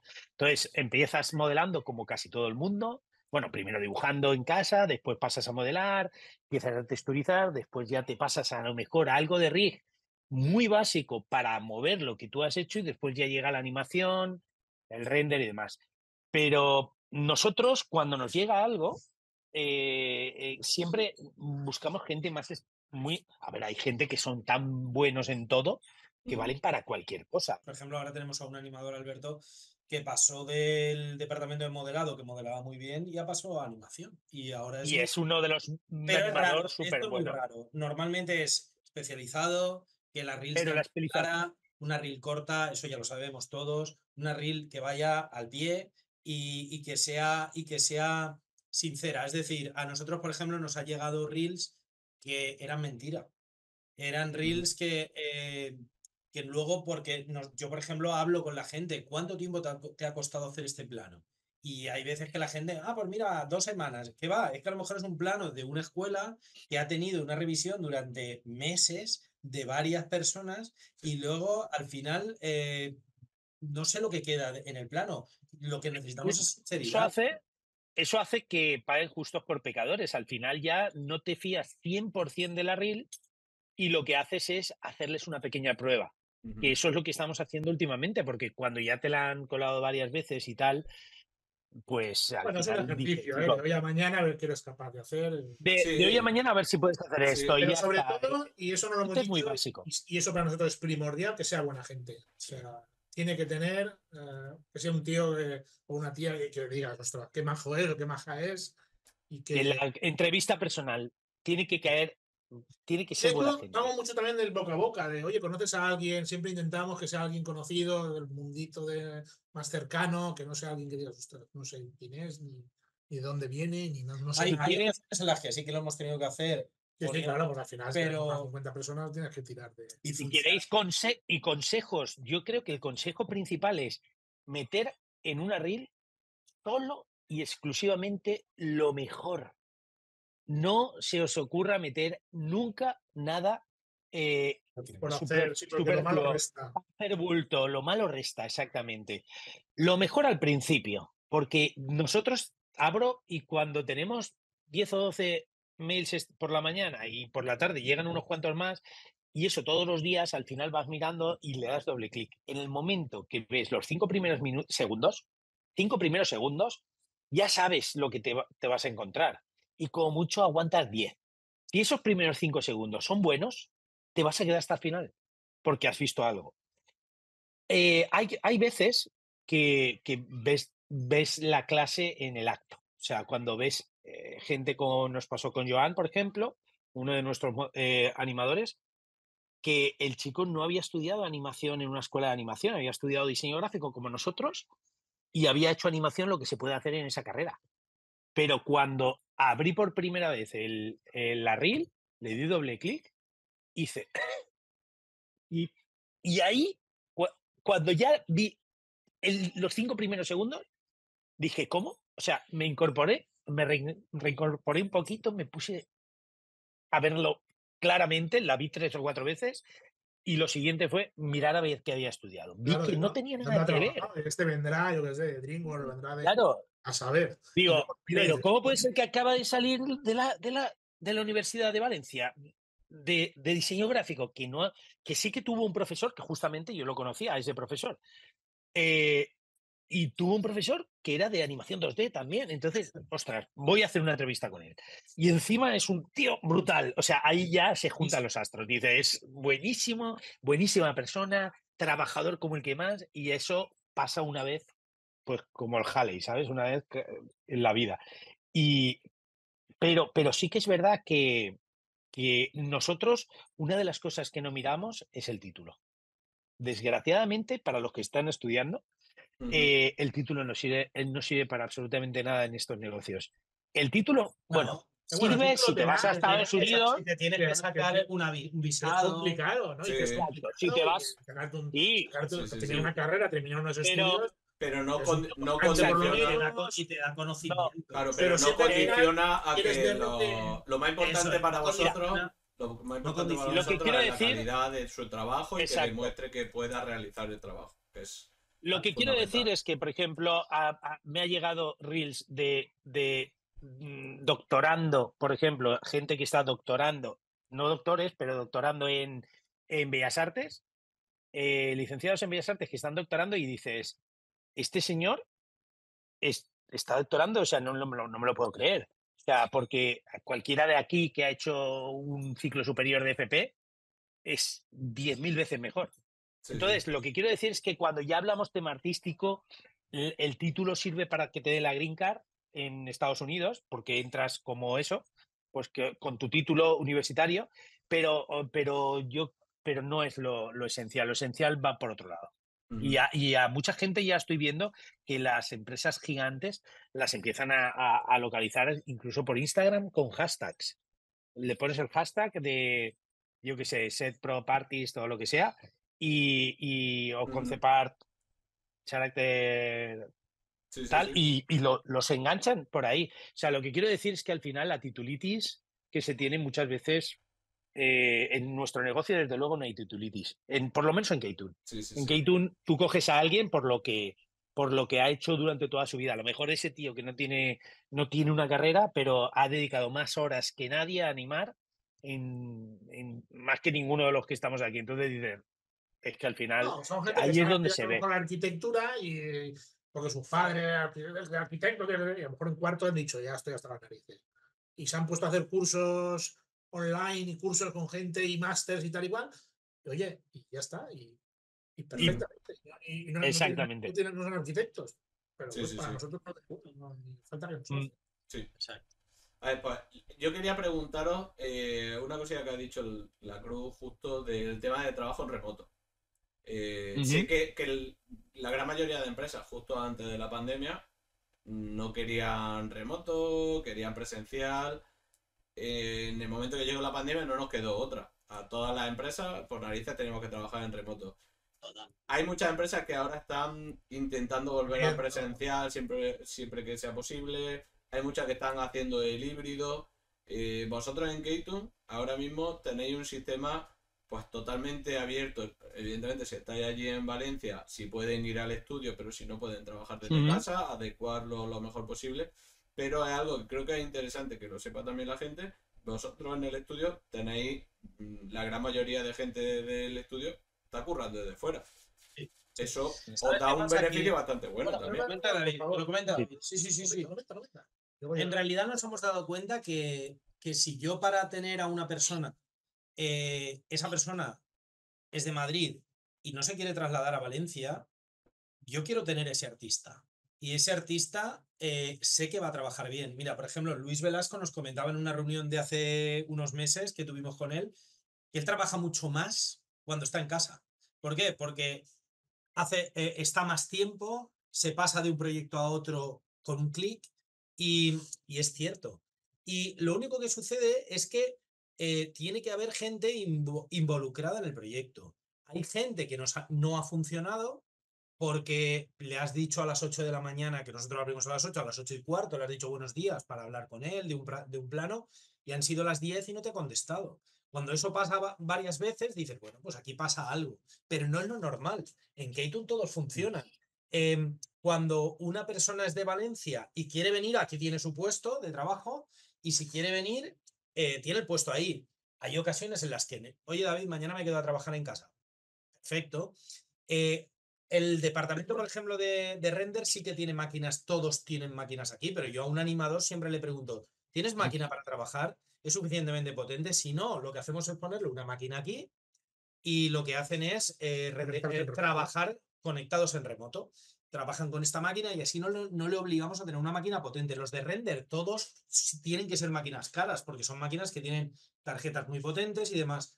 ¿Qué sucede? Que tienen todos la máquina aquí. Ellos trabajan con su máquina únicamente para ver el equipo que tienen aquí. Nosotros nos hemos dado cuenta que de este modo podemos tener a la gente más contenta porque está en su casa. Y, por ejemplo, este de, si no fuese así, por ejemplo, no podríamos trabajar con vosotros. Vosotros estáis en Murcia. Nosotros en Valencia. Eh, ¿Vosotros creéis que nosotros vamos a prescindir de vosotros porque trabajéis desde Murcia? Ni locos, o sea, ni locos. Claro, nosotros, nosotros, el ejemplo perfecto para ver. La parte positiva, la parte positiva de, trabajar en un estudio, que hay partes muy positivas de trabajar todos juntos, es esa comunidad, esa, esa forma de aprender unos de otros, esa manera de levantarte y decir, eh, tío, mira el plano tal que he hecho y, juntarse varios y, hacer un feedback rápido, que también se puede hacer, pero sí que es verdad que eso lo pierdes en, cierto es un, aspecto. Con ellos, eh, claro, y, y, siempre y un día hablas. Más Claro, y un día, y un día hablas de, de la, de, su familia y otro día estás hablando tú de, de cuando te fuiste a viajar a, a no sé dónde. Entonces, ¿qué pasa? Que, que hay unas amistades ahí que ya sabéis que nosotros, bueno, somos muy abiertos en ese aspecto y, creas una amistad muy, muy duradera, ¿no? Y eso era muy bonito, eso lo echo de menos. Pero laboralmente, en nuestro negocio, tenemos la gran suerte de que, de que se puede perfectamente trabajar desde casa. Y es más, nuestros proyectos, aunque cada vez son más, más caros, o sea, cada vez tenemos más presupuesto y demás, pero sí que es verdad que no es un presupuesto pues como pueda tener Illumination, lo que decimos antes. lo que queremos decir es que... Una persona para seis meses no le voy a hacer venir de Madrid porque ni va a poder hacer piso, ni va a poder hacer, ni el presupuesto para, para pagarse. Claro, sí, pero ¿cómo voy, ¿cómo voy a pillar un apartamento? Allí, eh, antes cuando estábamos en Keitun sí que teníamos los apartamentos de arriba, que a lo mejor la gente que eran alquileres temporales más o menos cortos, y había gente que, joder, lo hablábamos y, se quedaban a, vivir arriba, en los apartamentos de arriba de Keitun. Eso, pues a veces pasaba, pero, pero sí que es verdad que ahora la gente prefiere trabajar desde casa y, lo veo normal. Yo ahora mismo, como podéis ver, estoy en mi casa. Porque, porque, bueno, me tengo que quedar en casa por un, la vida. Ya soy la, es la vida, la, vida, te, arrastra y, y, vamos intercalándonos mi hermano y yo ¿vale? Pues quedándonos unos en casa por, por cuidar de mi padre, ¿vale? Pero, pero trabajo exactamente igual. O sea, yo realmente lo que es el aporte que hago a Keitud es el mismo el que hago desde aquí, desde la mesa de la terraza, de, de la parcela que, que, estar trabajando allí. Lo que pasa es que a mí lo que me gusta es irme a almorzar con mi hermana, con la Cruz, hablar tranquilamente, con la gente que se apunte, porque hay días que no vamos todos a almorzar, al bar y estás ahí charlando con todos y eso lo adoro. Y lo echo de menos cuando la semana que me toca quedarme aquí, lo echo de menos de menos la máquina. Sabes que no, porque tenemos, tengo, Pero, pero no, no, eh, el, hecho de, estar en contacto, ¿sabes? De, entrar al despacho de la cruz y ponerme a hablar con él de otra, de, cualquier cosa, o de Rubén, o, cualquiera, es una, es una pasada el tenerlo ahí.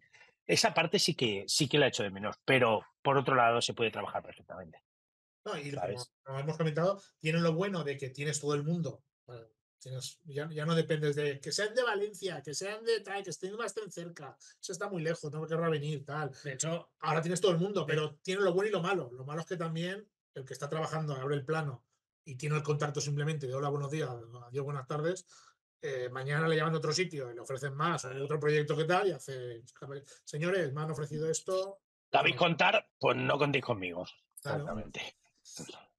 Entonces es, más fácil porque no te ata, te ata el proyecto y te ata, bueno, pues, mm. pero ahora, mismo realmente lo que ata a la gente desde que se está trabajando en casa, que no tienes que moverte ni nada, es básicamente el proyecto y el ambiente y, el que trabajes a gusto. Mm. y ya está, y punto. Te lo entiendo perfectamente, ¿eh? Sí, de hecho, a nosotros pasa eso, o sea, tenemos este proyecto, se acaba y bueno, no sobran siete personas, no sobran diez personas, porque el presupuesto ya no da para, para todos los que éramos. Igual que lo proponemos y la gente lo sabe, yo entiendo perfectamente que alguien me diga, oye, no que me deje la estacada cuando queden dos días. la semana, aguanto un poquito a acabar la semana, por lo menos dirá a esta gente que te irás en una semana, yo qué sé.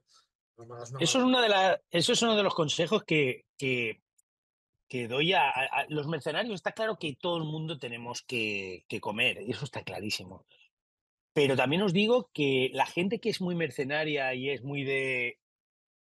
Eh, tío, que me han llamado y me pido tal. De la noche a la mañana te dejan en la estacada. Eh, eso se valora muy mal en la industria. O sea, eso se. Normalmente eso. Eh, por, en nuestro caso, por ejemplo, aunque sea muy bueno, es, va a ser difícil volver a contratar a una persona que sea de esa manera.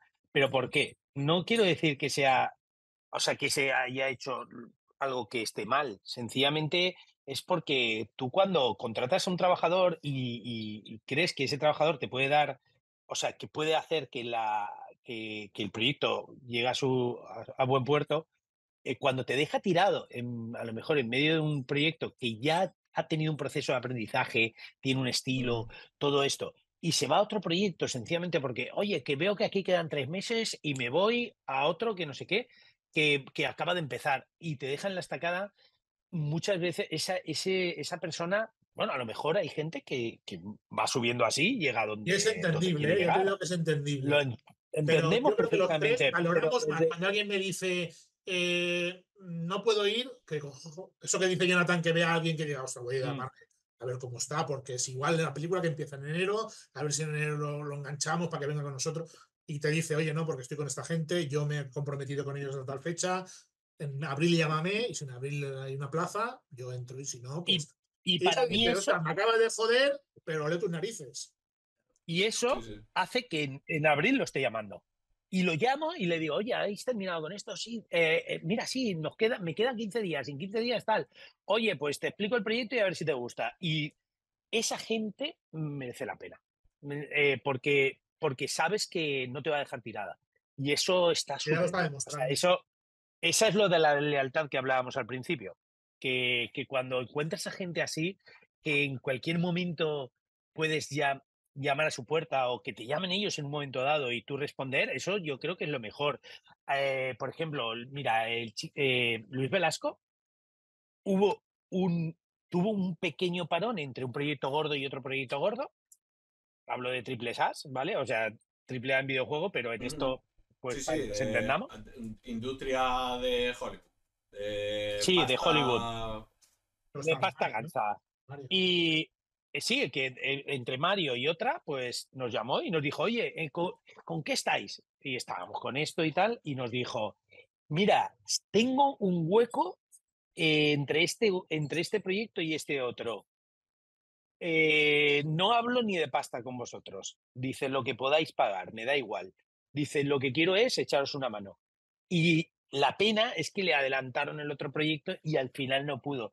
Pero, ¿y sabes por qué? Porque dice, es que nos decía que él eh, no, no es que, o sea, él dice que con nosotros estuvo a gustísimo y que dice, y, y, Luis dijo que, pues eso, que, que le encantaba haber, eh, porque eso, haber trabajado con nosotros y quería devolvernos un poco como el favor. Que mira, oye, echaros una mano con esto y, ayudaros a, que, vuestros animadores sean mejores. Es que mira, en, esta industria, eh, o sea, puedes ofrecer. Nosotros, como Keitun no es una empresa grande y Keitun no puede nunca eh, estar en competencia con eso, pues Illumination, con Skydance en cuanto a tamaño de empresa, en cuanto a, lo que se puede sueldos, a sueldos. nosotros sí que podemos competir con ellos en cuanto a respeto al artista y, el que esté a gusto la gente. Aquí nosotros en la vida hemos dicho a una persona que haya entrado 20 minutos más tarde, le hemos dicho a qué horas son estas de llegar. No, porque sé que esa persona va a acabar un plano y a lo mejor acaba más tarde. No lo sé, porque yo ya me he ido a lo mejor, pero lo que no puedo hacer es no confiar en la gente y no, y no, em, porque yo no voy a poder ofrecer eh, el mismo sueldo que ofrece una empresa más grande, ¿sabes? Entonces, aquí intentamos tener un, un, sueldo justo, pero lo que hacemos es que la gente se sienta a gusto y ya está. Es, mm. eso es lo que intentamos. Y no dudo que haya gente que se haya ido enfadada, no lo dudo, ¿eh? Puede pasar. Eh, también os digo, también os digo que no es, no, es, no es filosofía de empresa, ¿eh? es filosofía de vida.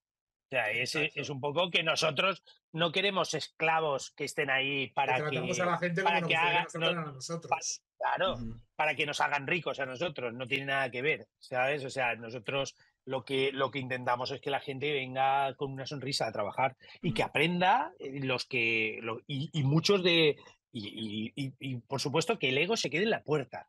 Eso es lo principal. Eso la gente que nos está viendo, que está empezando, que piense eso, que el ego se queda en la puerta. La gente realmente buena son los que han llegado a Pixar, los que han llegado a Disney, los que han llegado a lo más alto, a DreamWorks, son humildes. Y, esa gente son los que realmente se quedan. Los que son unos, unos listos, los que tiran tu trabajo por tierra, los, esos no van a llegar a nada. No llegan a nada y la gente, claro, Y al final, nosotros aprendemos tanto de, de, o sea, yo creo que aprendemos nosotros más de los trabajadores que los trabajadores de nosotros. Porque, porque cada uno aporta. Y yo disfruto cada vez que veo algo, digo, madre mía, qué guay. Y esto es lo más chulo de este, de este negocio, de estar siempre aprendiendo. Entonces, lo que, si quieren que lo saben todo, son gente joven que te hace estar conectada con la gente joven, con una forma de hablar, con una forma de. A pesar de que haya, haya, entrado Miguel esta mañana y me ha dicho que, le recomendé la semana pasada que viese a alguien que no la había visto, ha visto a alguien y le ha dicho que no le ha gustado nada. Y a pesar de eso, fíjate. pero literalmente. ¿Qué está pasando? Espérate, ¿eh? que yo a pesar de eso. Los jóvenes? Veintipocos años. Alien 1, no, le ha gustado, no le ha gustado Alien 1. No, no, da, igual, da igual. de, Miguel está vetado ya. Eh. la serie con él. David. Sí, sí, sí. David. Entró y me ha dicho, David, he visto la película que me dijiste, la del Alien ese. Y digo, vale. Ya empezando por ahí, ya, ya, ya me fastidia. Hable y luego digo. Habla, háblale de usted, por favor. Y luego digo, ¿y qué? ¿Y qué? Y dice, es que no me ha gustado nada. Y digo, ¿qué? mañana, mañana voy a llegar primero y decir, mira, ven que tenemos que hablar de un modelo que hay que hacer. si no, no modelaras así de bien. Vamos en la puta calle. Ay, he dicho puta. el... Mañana, mañana eh, le tenemos que gastar una broma a Miguel. Mañana, mañana, le decimos lo de, lo de sí, sí. Oye, hablando, hablando del tema de modelado, eh, por decir un puntito, ¿vale? Miguel, nuestro eh, lead, modelador, ¿vale? es, es increíblemente bueno. A ver, lo que quiero decir es que no es solo aprender la técnica, que es importantísima en, a la hora de hacer el, modelado poligonal del personaje o la escultura. La técnica es súper importante. Lo más, pero lo más importante y lo más difícil de conseguir es lo que tiene Miguel. Miguel ve un personaje que lo dibujas en un tres cuartos de un personaje y no necesita más. Y sabe darle el volumen y, la, y, eh, Exactamente. Y, la, Encuentras el. Exacto, encuentras el apil. Exacto. Y eso, cuando lo, consigues, cuando detectas que esa persona lo tiene, eh, ahí estamos hablando de otra cosa, de otra cosa, de otra cosa que no se puede estudiar. ¿eh? Por mucho que muchos modeladores, profesores, digan que todo eso es adquirido, lo siento mucho, pero no es adquirido lo, en 20 años de, empresa lo he visto. Gente muy buena técnicamente que no puede alcanzar el nivel de alguien que lo tiene. Es tener ese don o no tenerlo. Y después técnicamente otra gente puede ser mucho mejor, ¿eh? Pero, pero Miguel tiene ese punto de que lo ves ves el dibujo. ¿Quieres dejar de hablar bien de los trabajadores que, que, les van a ofrecer dinero? Y decir... ¿Te has dado cuenta que no he dicho el apellido? No he dicho el apellido, podría ser. Oye, es tan difícil. de que, con que, con que busquen en Google Miguel modelador Miguel que, no le gusta a alguien, seguro. seguro le sale primero. Le sale primero. Es lo que, lo que le faltaba, es verdad, me cago en la mano. Sí, sí, sí, no puede ser perfecto, mira. Sí, sí, sí, sí.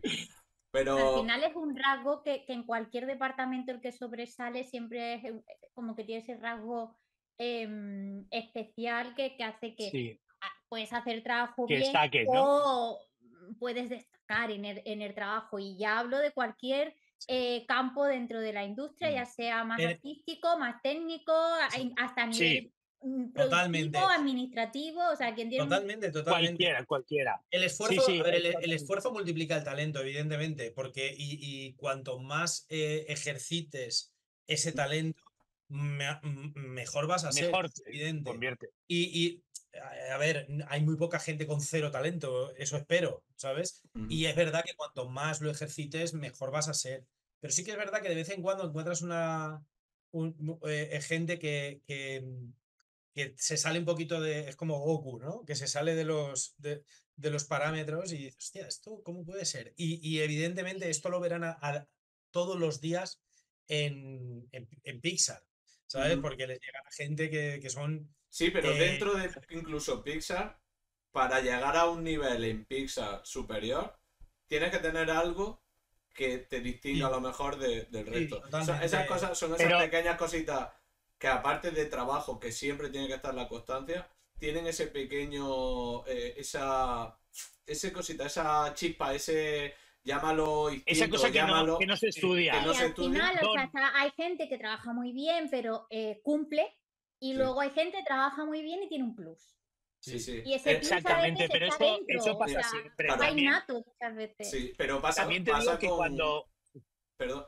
No, no, que digo que pasa, que pasa muchas veces, por ejemplo, nos, encontramos eh, en animación, ¿vale? Te encuentras planos que, que hay animadores que les cuesta muchísimo, que dices, son 150 frames o, o 60 frames y llevan un día o dos días currándolo y no hay manera de sacarlo eh, y de repente te llega luego otro y simplemente con el blocking ya te lo han resuelto que ya dices, pero si es que ya está, si esto era un blocking, pero ya, está, ya está listo. Ya, eso, es gente que tiene la mirada eh, de otra manera. Sí, sí, sí. sí esa, es así. Nosotros, la verdad es que, eh, ah, bueno, a mí me, me, encanta, me encanta eso, el, el, verlo desde la parte externa, ¿vale? Y ver, digámoslo así, de qué pie cogea cada uno, ¿no? O sea, tú sabes que un plano eh, se lo puedes dar a este perfectamente porque sabes que lo va a hacer súper rápido y con el apil que buscas. A lo mejor hay otro que es un lip sync o algo que es más, no sé, algo diferente, algo con un acting más cercano y se lo puedes dar a otro. Y esa parte también es muy bonita de, de al tener una empresa y, ver cómo trabaja cada uno. Eso es súper. También te digo que cuando la empresa se hace tan, tan grande, para nosotros ahora mismo es, es enorme y, y, y realmente eso empiezas a despegarte un poquito de lo que hacías antes. Antes estabas en todo, todo, todo pasaba por ti. Ahora pero, lo que haces es confiar, modelado, claro, confías, en gente. Claro, confías en gente que antes eras tú el que lo hacías todo. y ahora, ahora confías en la gente para que mire eso. Claro.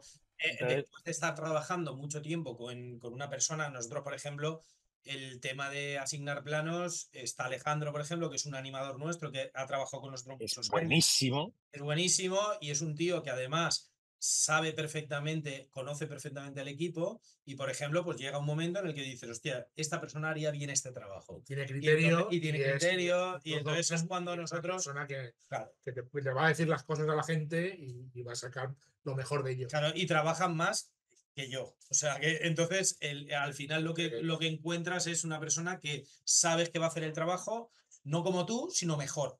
Entonces, pues ahí es cuando tienes que, que cuando tienes una persona que dice, hostia, eh, esto vale, vale muchísimo. Sí, sí. eso es importante, el tener un equipo que puedas confiar. Ahora que estéis vosotros en, en dirección, tener un equipo debajo que podáis confiar en, mira, sé que esta área está cubierta, este me va a responder mm. y luego evidentemente siempre informando a, dirección y, a todo, pero, pero al final eh, es lo que has dicho, hay tantas cosas que hacer a lo largo del día que si quisieras cubrirlas todas sería imposible y al final queda un trabajo mediocre. En vez de cubrir todo, cubre una parte y sabes que tienes la confianza plena que eh, los otros miembros del equipo te van a, cubrir perfectamente eso para llegar al nivel. Exacto o acabaría un proyecto Exactamente. me tomo un año sabático o me voy y necesito irme a mi casa. Claro. Otra película de esta seguida a mí me mata. Me, me un tiro. El departamento. Yo, por ejemplo, hablando del departamento de, de rigging, eh, porque estás aquí, eh, nosotros, por ejemplo, yo cuando tú me escribes a mí para decirme, David, eh, ¿qué piensas de esto en este personaje? Tú sabes perfectamente que yo voy a opinar mucho, casi siempre voy a opinar lo mismo que tú me vayas a decir, porque sé que tú eres la persona especialista. Sí que es verdad que en algunos momentos entramos en un diálogo porque sé que es lo que buscas. Es, David, esto lo, lo solucionamos así o lo solucionamos así. Y entonces hablamos. Pero normalmente yo confío en tu departamento y en tu supervisión y por lo tanto sé que cuando llegas a hablar conmigo, normalmente vienes con solución. No vienes con una duda simplemente que no sabes arreglar. Es lo mismo que otros departamentos. Eh, cualquier departamento que llegue, si me viene con una solución que cree que es la adecuada, normalmente va a ser el 90%.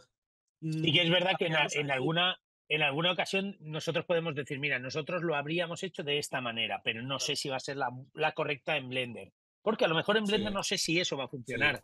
Porque a lo mejor en otros programas sí que lo haríamos así. Entonces tú me dices, no, pero es que hay una herramienta que hace esto, tal, ostras. Hay muchas pues, veces, por ejemplo, muchas veces, por ejemplo, cuando eh, hay mucha gente que, por ejemplo, llega y le pregunta a Leticia eh, que como eh, algo del guion o algo de, mira, y este plano aquí que debería de salir, cosas así.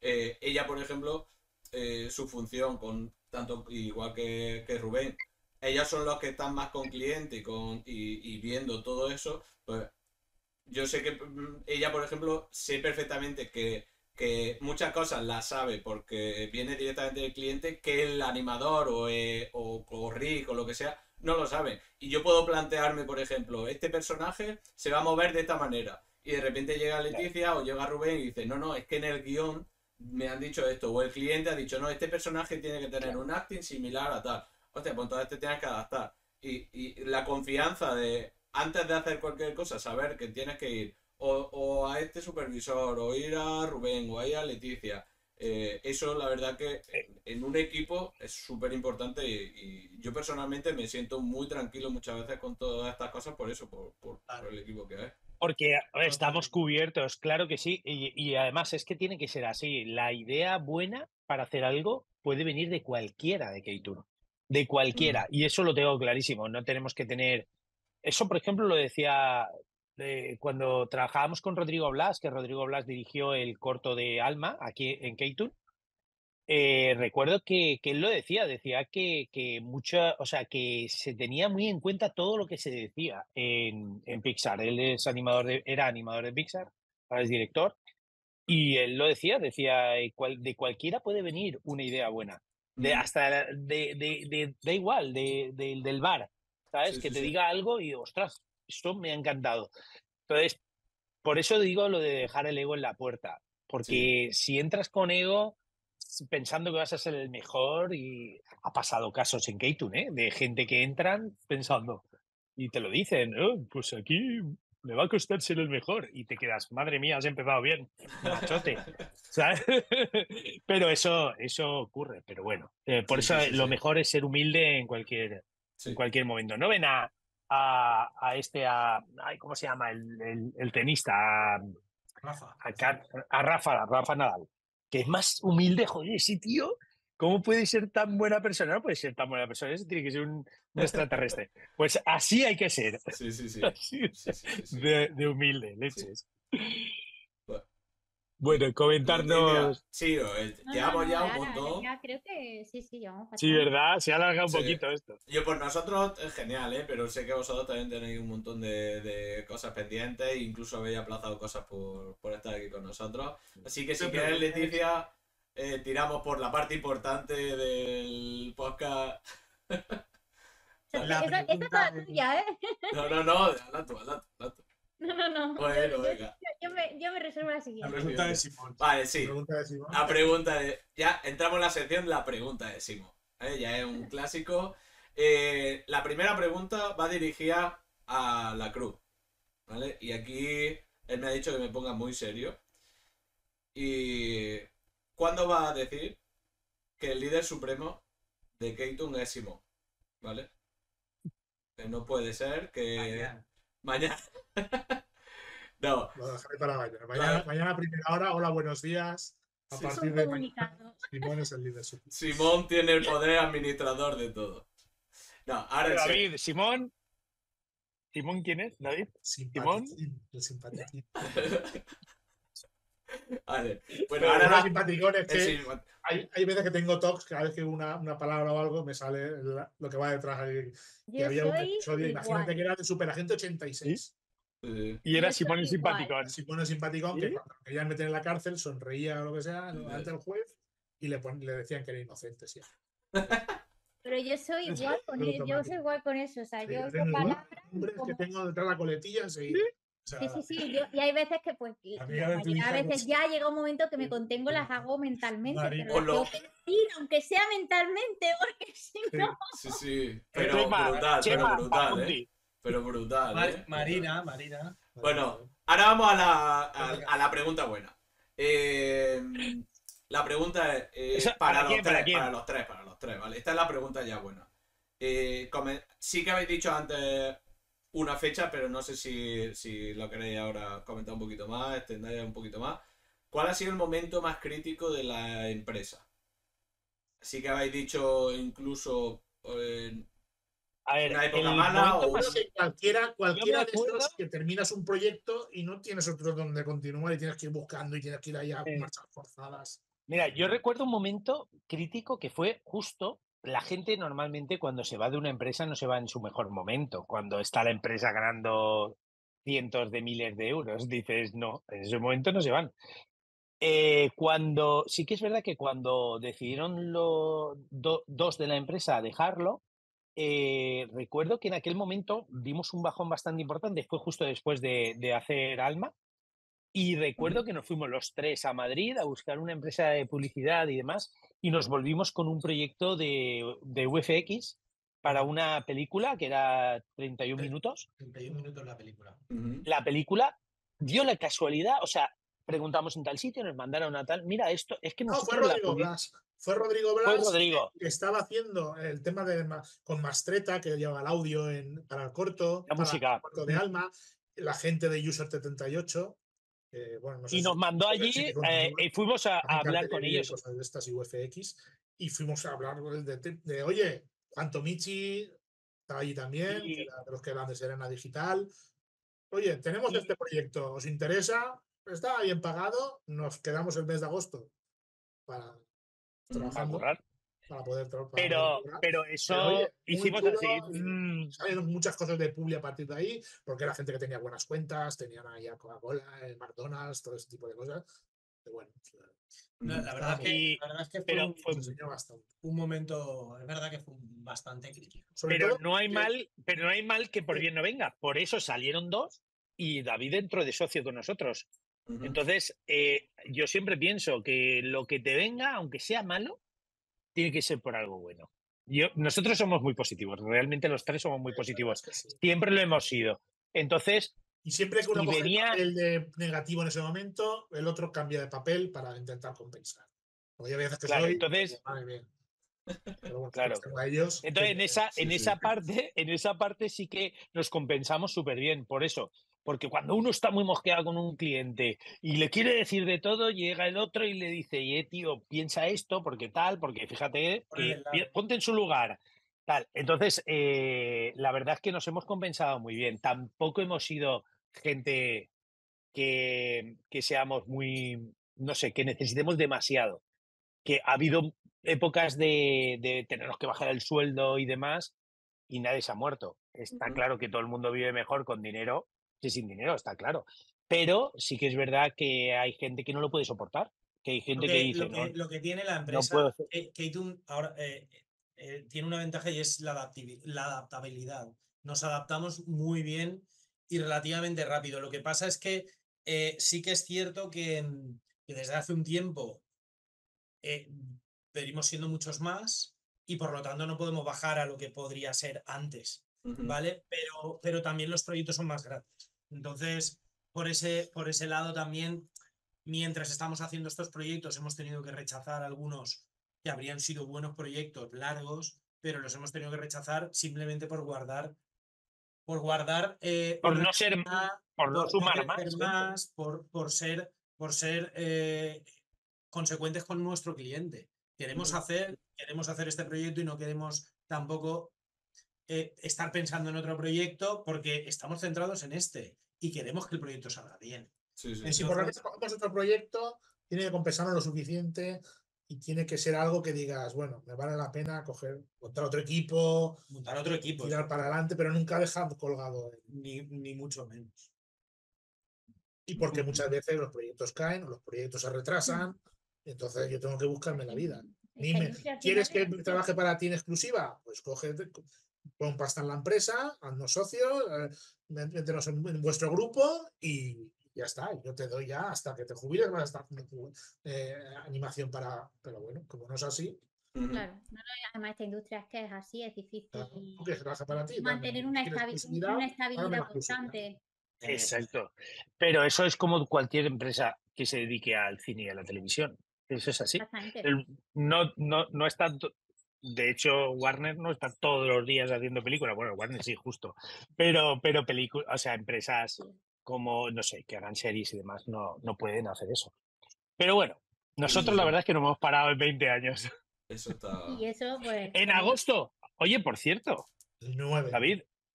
El 9, ¿eh? No, no, no, no. Me refiero que qué día es exactamente el día que hacemos 20 años. Pues no lo sé, creo que era el 2 de agosto, dentro de poco. Era el 2 de agosto, es verdad, es que lo tenemos ahí, ¿eh? Efectivo, ¿no? Efectivo, hemos dicho. La verdad es que no, no tampoco estamos siempre en las, redes sociales, no sé si era bueno o malo. No nos gusta. Siempre vamos con el perfil bajo y estamos trabajando. Hay gente que está siempre en las redes y luego están parados. Nosotros, pues bueno, no mm. estamos tanto en las redes, pero no paramos. No tiene nada ¿eh? Yo... No, no, no. nosotros, por la forma de ser también de cada uno. Y nosotros pasa igual. Tenemos épocas que bueno, podemos subir algo, tal, por manteniendo que se pues vea que seguimos trabajando, obviamente. Por supuesto, si mañana sale un trailer o lo que sea, lo subiremos. Si mañana está en el festival de no sé dónde, claro. lo También porque no sabemos hasta qué punto podemos decir a veces unas cosas, otros preferimos no poner nada y oye.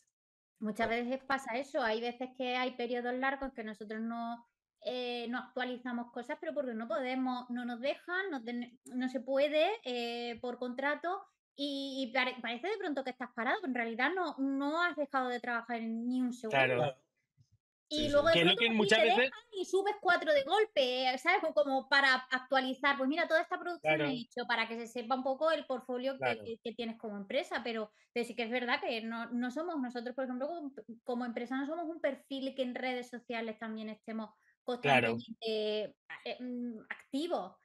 a nosotros muchas veces nos lo decían, nos decían, ostras, es que no sabíamos nada de vosotros, no sabíamos si estabais. Y digo, es que cuando no sepas de alguien es porque tiene faena. si, lo si ponen muchísimas cosas, quiere decir que están buscando. Sí. Ah, es que, claro, aquí hay dos Nos pasa a nosotros, ¿eh? Porque nos pasa a nosotros. Claro, pero hay dos, dos, dos vertientes en esta industria con eso que no sé de ti, pero tienes tanta faena que no, o sea, que no puedes, no das a más, pero también hay gente que el no aparecer hace que se olviden de ello.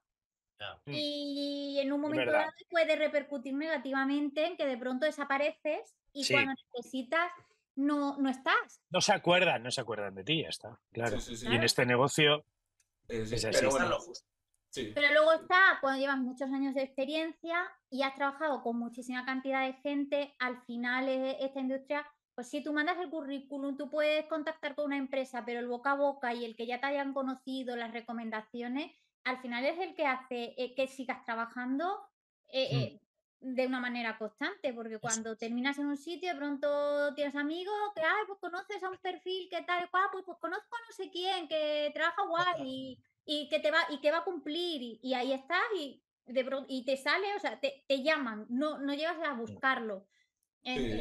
Y están sí, no, es así, es así. No digo que, no haya que hacer eso. Totalmente. menos. Simplemente que, pues igual en los tiempos que corren deberíamos tener un departamento de marketing, uno que estuviera haciendo ya un vídeo recopilatorio de nuestros 20 años hmm. para el aniversario, para ponerlo ahí en el LinkedIn. no, no estamos haciendo. Sería fácil. Sí, sí, los vídeos, los vídeos, os digo cómo lo hacemos. Los vídeos de Reels y demás, nos ponemos, o mi hermano y yo, y, y enganchamos vamos a montar y en una mañana nos montamos el vídeo y lo, subimos a la red. En el que está ahora lo hicimos así. Sí, sí, pero que a nosotros nos pasa exactamente igual, que nosotros eh, hace 20 días, no, 15 días, hicimos 8 años con la empresa. Y, y, no, lo que hicimos fue, no vamos, no podemos poner tampoco gran cosa, ni vamos a poner eh, una entrada brutal o una reel o cosas así que tenemos cosas para montarlas, pero no hemos tenido tampoco ni siquiera tiempo ni nada de eso. ¿Qué hicimos? Pues, bueno, pues como empieza la. Empieza. Eh, justo tenemos el podcast que hemos pensado hacer esta nueva sección y hacer el podcast y ponerlo. Pues mira, pues el día del, aniversario cogemos y ponemos el primer podcast para, para eso. Y lo hicimos de esa manera. Poco a poco vamos a ir reactivando un poco, pero para nosotros lo, lo principal, lo más importante es el curro que tenemos día a día. Si, si tú coges y eh, quitas tiempo de tu, de tu curro diario para hacer esas cosas, a mí me parece que eso es lo peor que puedes hacer. Primero céntrate en hacer bien lo que estás haciendo y después ya me pondrás vídeos súper bonitos en TikTok o lo que quieras haciendo baile o haciendo cualquier gilipollas. a, veces, es el, cliente nuevo que te llega, un proyecto importante que te dice, mándame la reel. Y dices, la reel. Tenemos puesto esto, los trotis, tenemos. La, la, reel de hace 10 años. Hay que meter eso. Vamos a tener. Esto lo quitamos y vamos a poner esto. Si empezáis a ver cosas de Keitun, es que Keitun busca faena. Sí, sí, sí, sí. Sí, sí, sí. Bueno, sí. Así que. Ah, irán viendo ya cuando salga la serie en septiembre. sí, eso, va a salir, pero eso lo hace Filma. Ahí sí. No, pero. Que dice, pero ¿por qué no estoy buscando trabajo? Pues, chico, porque es que lo que me salga ahora tengo hasta 2025. Es que no le puedo decir. Que 2026. Que ahora, si tengo que decirle que no, si me viene, no sé. Claro, son oportunidades que pierda a lo mejor. tenemos, proyectos. ¿para qué me dicen nada? tenemos proyectos propios aprobados por Televisión Española, metidos en un cajón de Televisión Española, aprobados por ellos, diciendo, es que, ¿qué hacemos con esto? Lo activamos, y oye, pues te lo meto en un cajón y cuando ya podáis, y eso lo tenemos así. Ahí tenemos ahora mismo mm. proyectos que lo aceptó Televisión Española que no podemos seguir con ellos. Y no hemos buscado más, más eh, o sea, eh, eh, televisión española siempre te da un punto, te da pues a lo mejor un cuarto de la serie y tú tienes que buscar los otros. Pero la otra pasta, pero, pero joder, tener la televisión española ahí ya es mm. un es una cosa como para moverlo. pues no podemos. O sea, entonces. Bueno, pero está muy bien porque eso también indica un poco la, estabilidad del sector de la animación aquí en España, que ha ido creciendo, que se, está estabilizando, y eso es una buena eso Espero. ¿eh? Es muy bueno. Sí, la verdad es que sí. Nosotros tenemos eh, muchas ganas de que la industria española, pues eso, que se, sea un ejemplo, Igual que lo es en Francia o, igual que es en Estados Unidos, pero que sea un ejemplo. Y además, de hecho, hay muchas veces que, a, lo mejor te llegan noticias de que, un, de que una empresa en España ha cerrado. Para mí eso no es buena noticia. La buena noticia es que, es que las empresas estén con mucho trabajo. Y, hay veces que te viene alguien de fuera y te dice, ¿te has enterado? Eh, riéndose, digo, es que no es para reírse, la industria española tenemos que ayudarnos todos. Porque cualquier industria, por ejemplo... Pero que la industria española no es una industria de animación eh, completamente asentada como puede ser Estados Unidos. Que cada empresa que cae es, claro. un pilar, es un pilar. Exacto, y es un ejemplo. Es un clavo en tu ataúd. Nosotros tenemos que ser una industria fuerte y para ser una industria fuerte las empresas que hay tienen que ser industrias fuertes. Y cuando las empresas eh, formemos un... Joder, cuando la gente piense en animación, que piensen también en esto. Sí, pero eso, pasa, pero eso pasa mucho también eh, si, si, lo llevamos a, a nivel profesional con la gente con la experiencia, con los años. Eh, tú, a cual, cualquier persona que, que acaba de empezar, por lo general, no cree que sea bueno que una persona ascienda de sus compañeros. ¿Sabes? Que crezca profesionalmente. Muchas veces lo que piensan es, a ver si haciendo yo, a ver si me dan el curro a mí y a este lo despide. Muchas veces, no, estoy diciendo en k ¿eh? digo en general. En, ya, ya, entiendo. En general. Porque piensan más individual. Cuando... Es que eso es malísimo, eso es malísimo. Eh, porque al final, mira, cuando la gente, el ejemplo principal eh, lo podemos ver en CalArts con la gente, otra vez volviendo a Disney, Pixar y demás. En la misma clase estaba Andrew Stanton, estaba Brad Beard, estaba Pete Doctor, estaba John, John Lasseter. O sea, te quiero decir que si, si, si tú asciendes, al final tú, la gente de alrededor va a ascender y va a hacer proyectos cada vez más grandes. Y si yo tengo una película en, en las, entre manos y alguien de los que le apetezca volver me dice, oye David, me llama a la puerta, evidentemente que esa persona, si ha trabajado, si ha sido una persona eh, que se haya involucrado, va a estar dentro del proyecto. Eso, es, eso es evidente. Entonces, es, lo mejor que te puede pasar es que toda la gente de alrededor suba y que, y que haga las cosas cada vez mejor y que las empresas de alrededor crezcan. Porque una empresa de alrededor, aquí en Valencia hay empresas que, que, nosotros nos llevamos muy bien con ellos y si esa empresa va a necesitar a alguien, a lo mejor te llama a ti.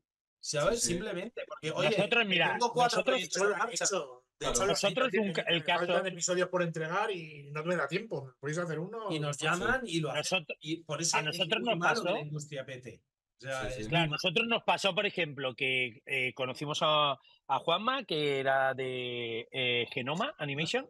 Desgraciadamente, Genoma desapareció porque, bueno, no tenían suficiente trabajo y tal. Y al final, eh, Juanma terminó siendo un, pues un pez gordito en, no, director de animación en, Angry, Birds. Sí, en Angry, Birds. Finlandia. En la empresa en Finlandia. Y Sigue haciendo cosas, ¿eh? nosotros es un máquina, es un máquina, Juanma.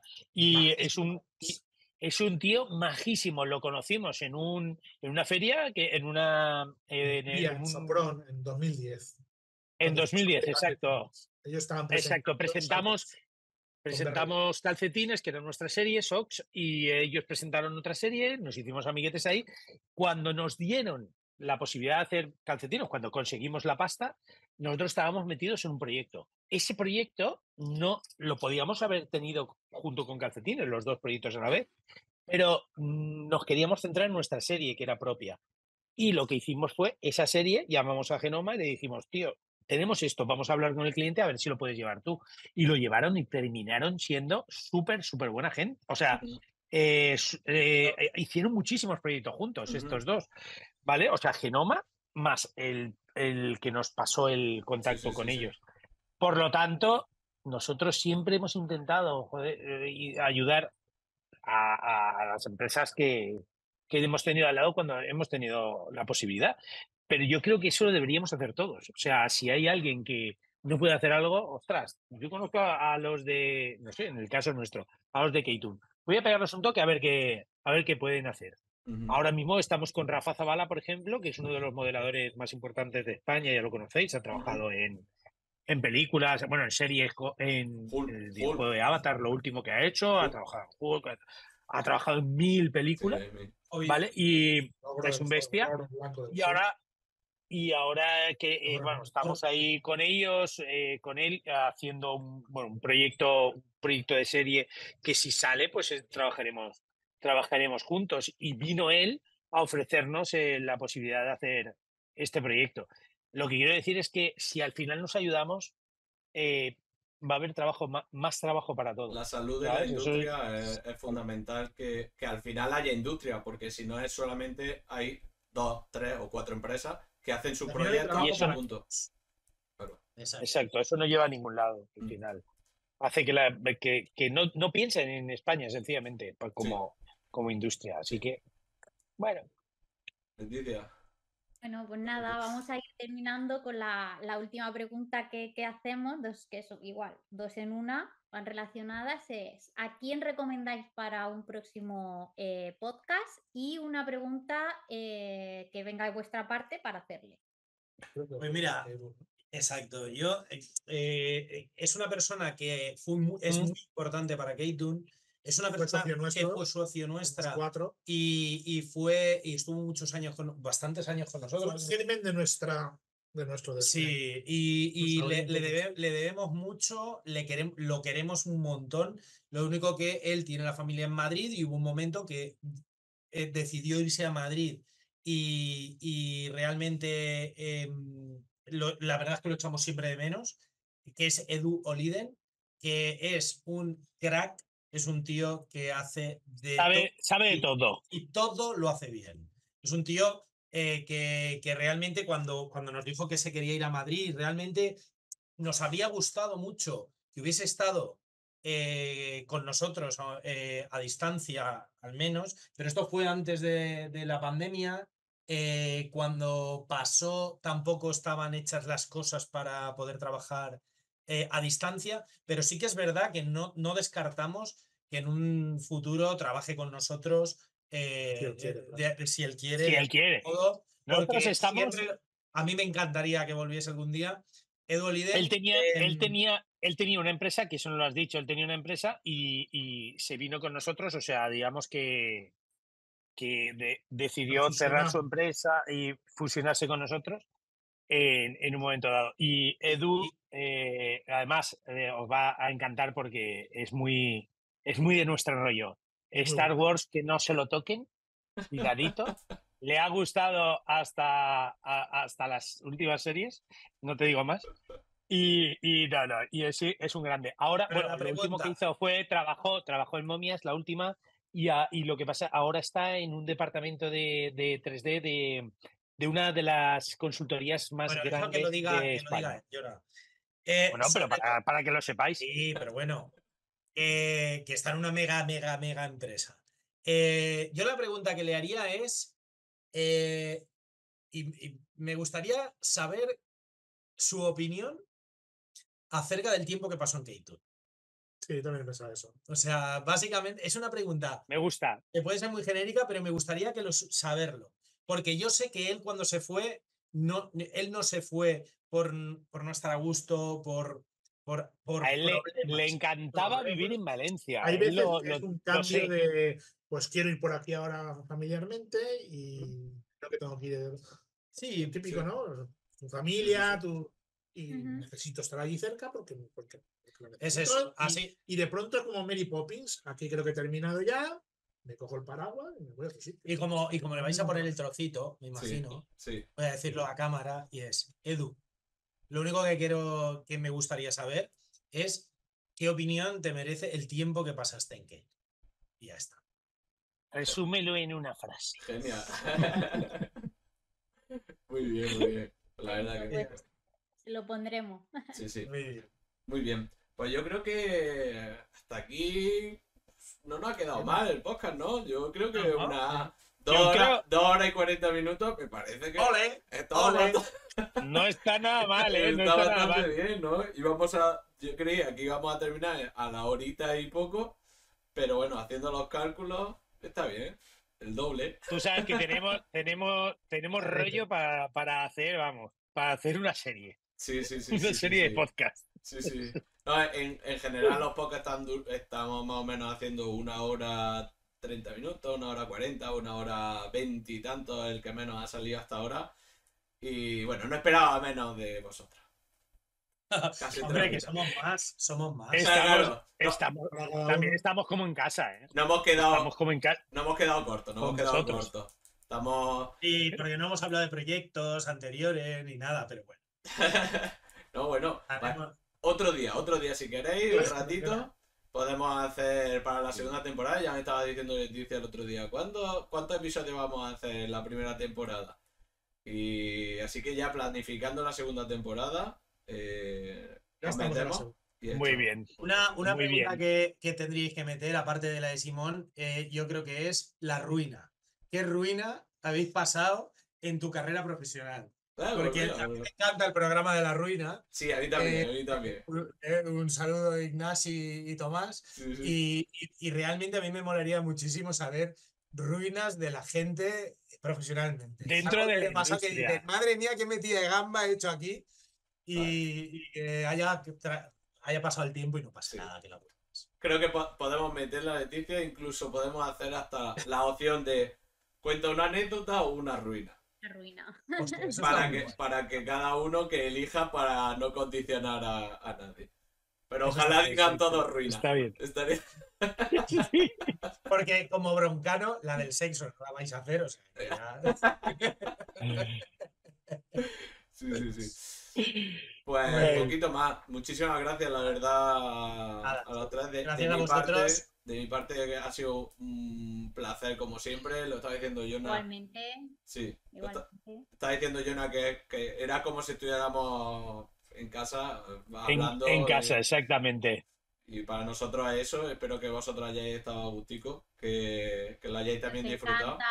nos encanta rodearnos de amigos y poder tener eh, charlas súper interesantes y conocer más y, y que la gente también conozca más a, un montón de gente que hay en esta industria que a veces solo se ve a nivel la cara profesional, pero saber un poco más por dentro todo lo que hay y opiniones que, se tienen que son súper interesantes. Muy bien. Muy bien. Pues eh, me encanta. Pues pues hasta la próxima, ¿no? Entonces. Nada, os veo en unas horas. Sí, sí. Casi que ya empalmamos. Besitos. Hasta luego.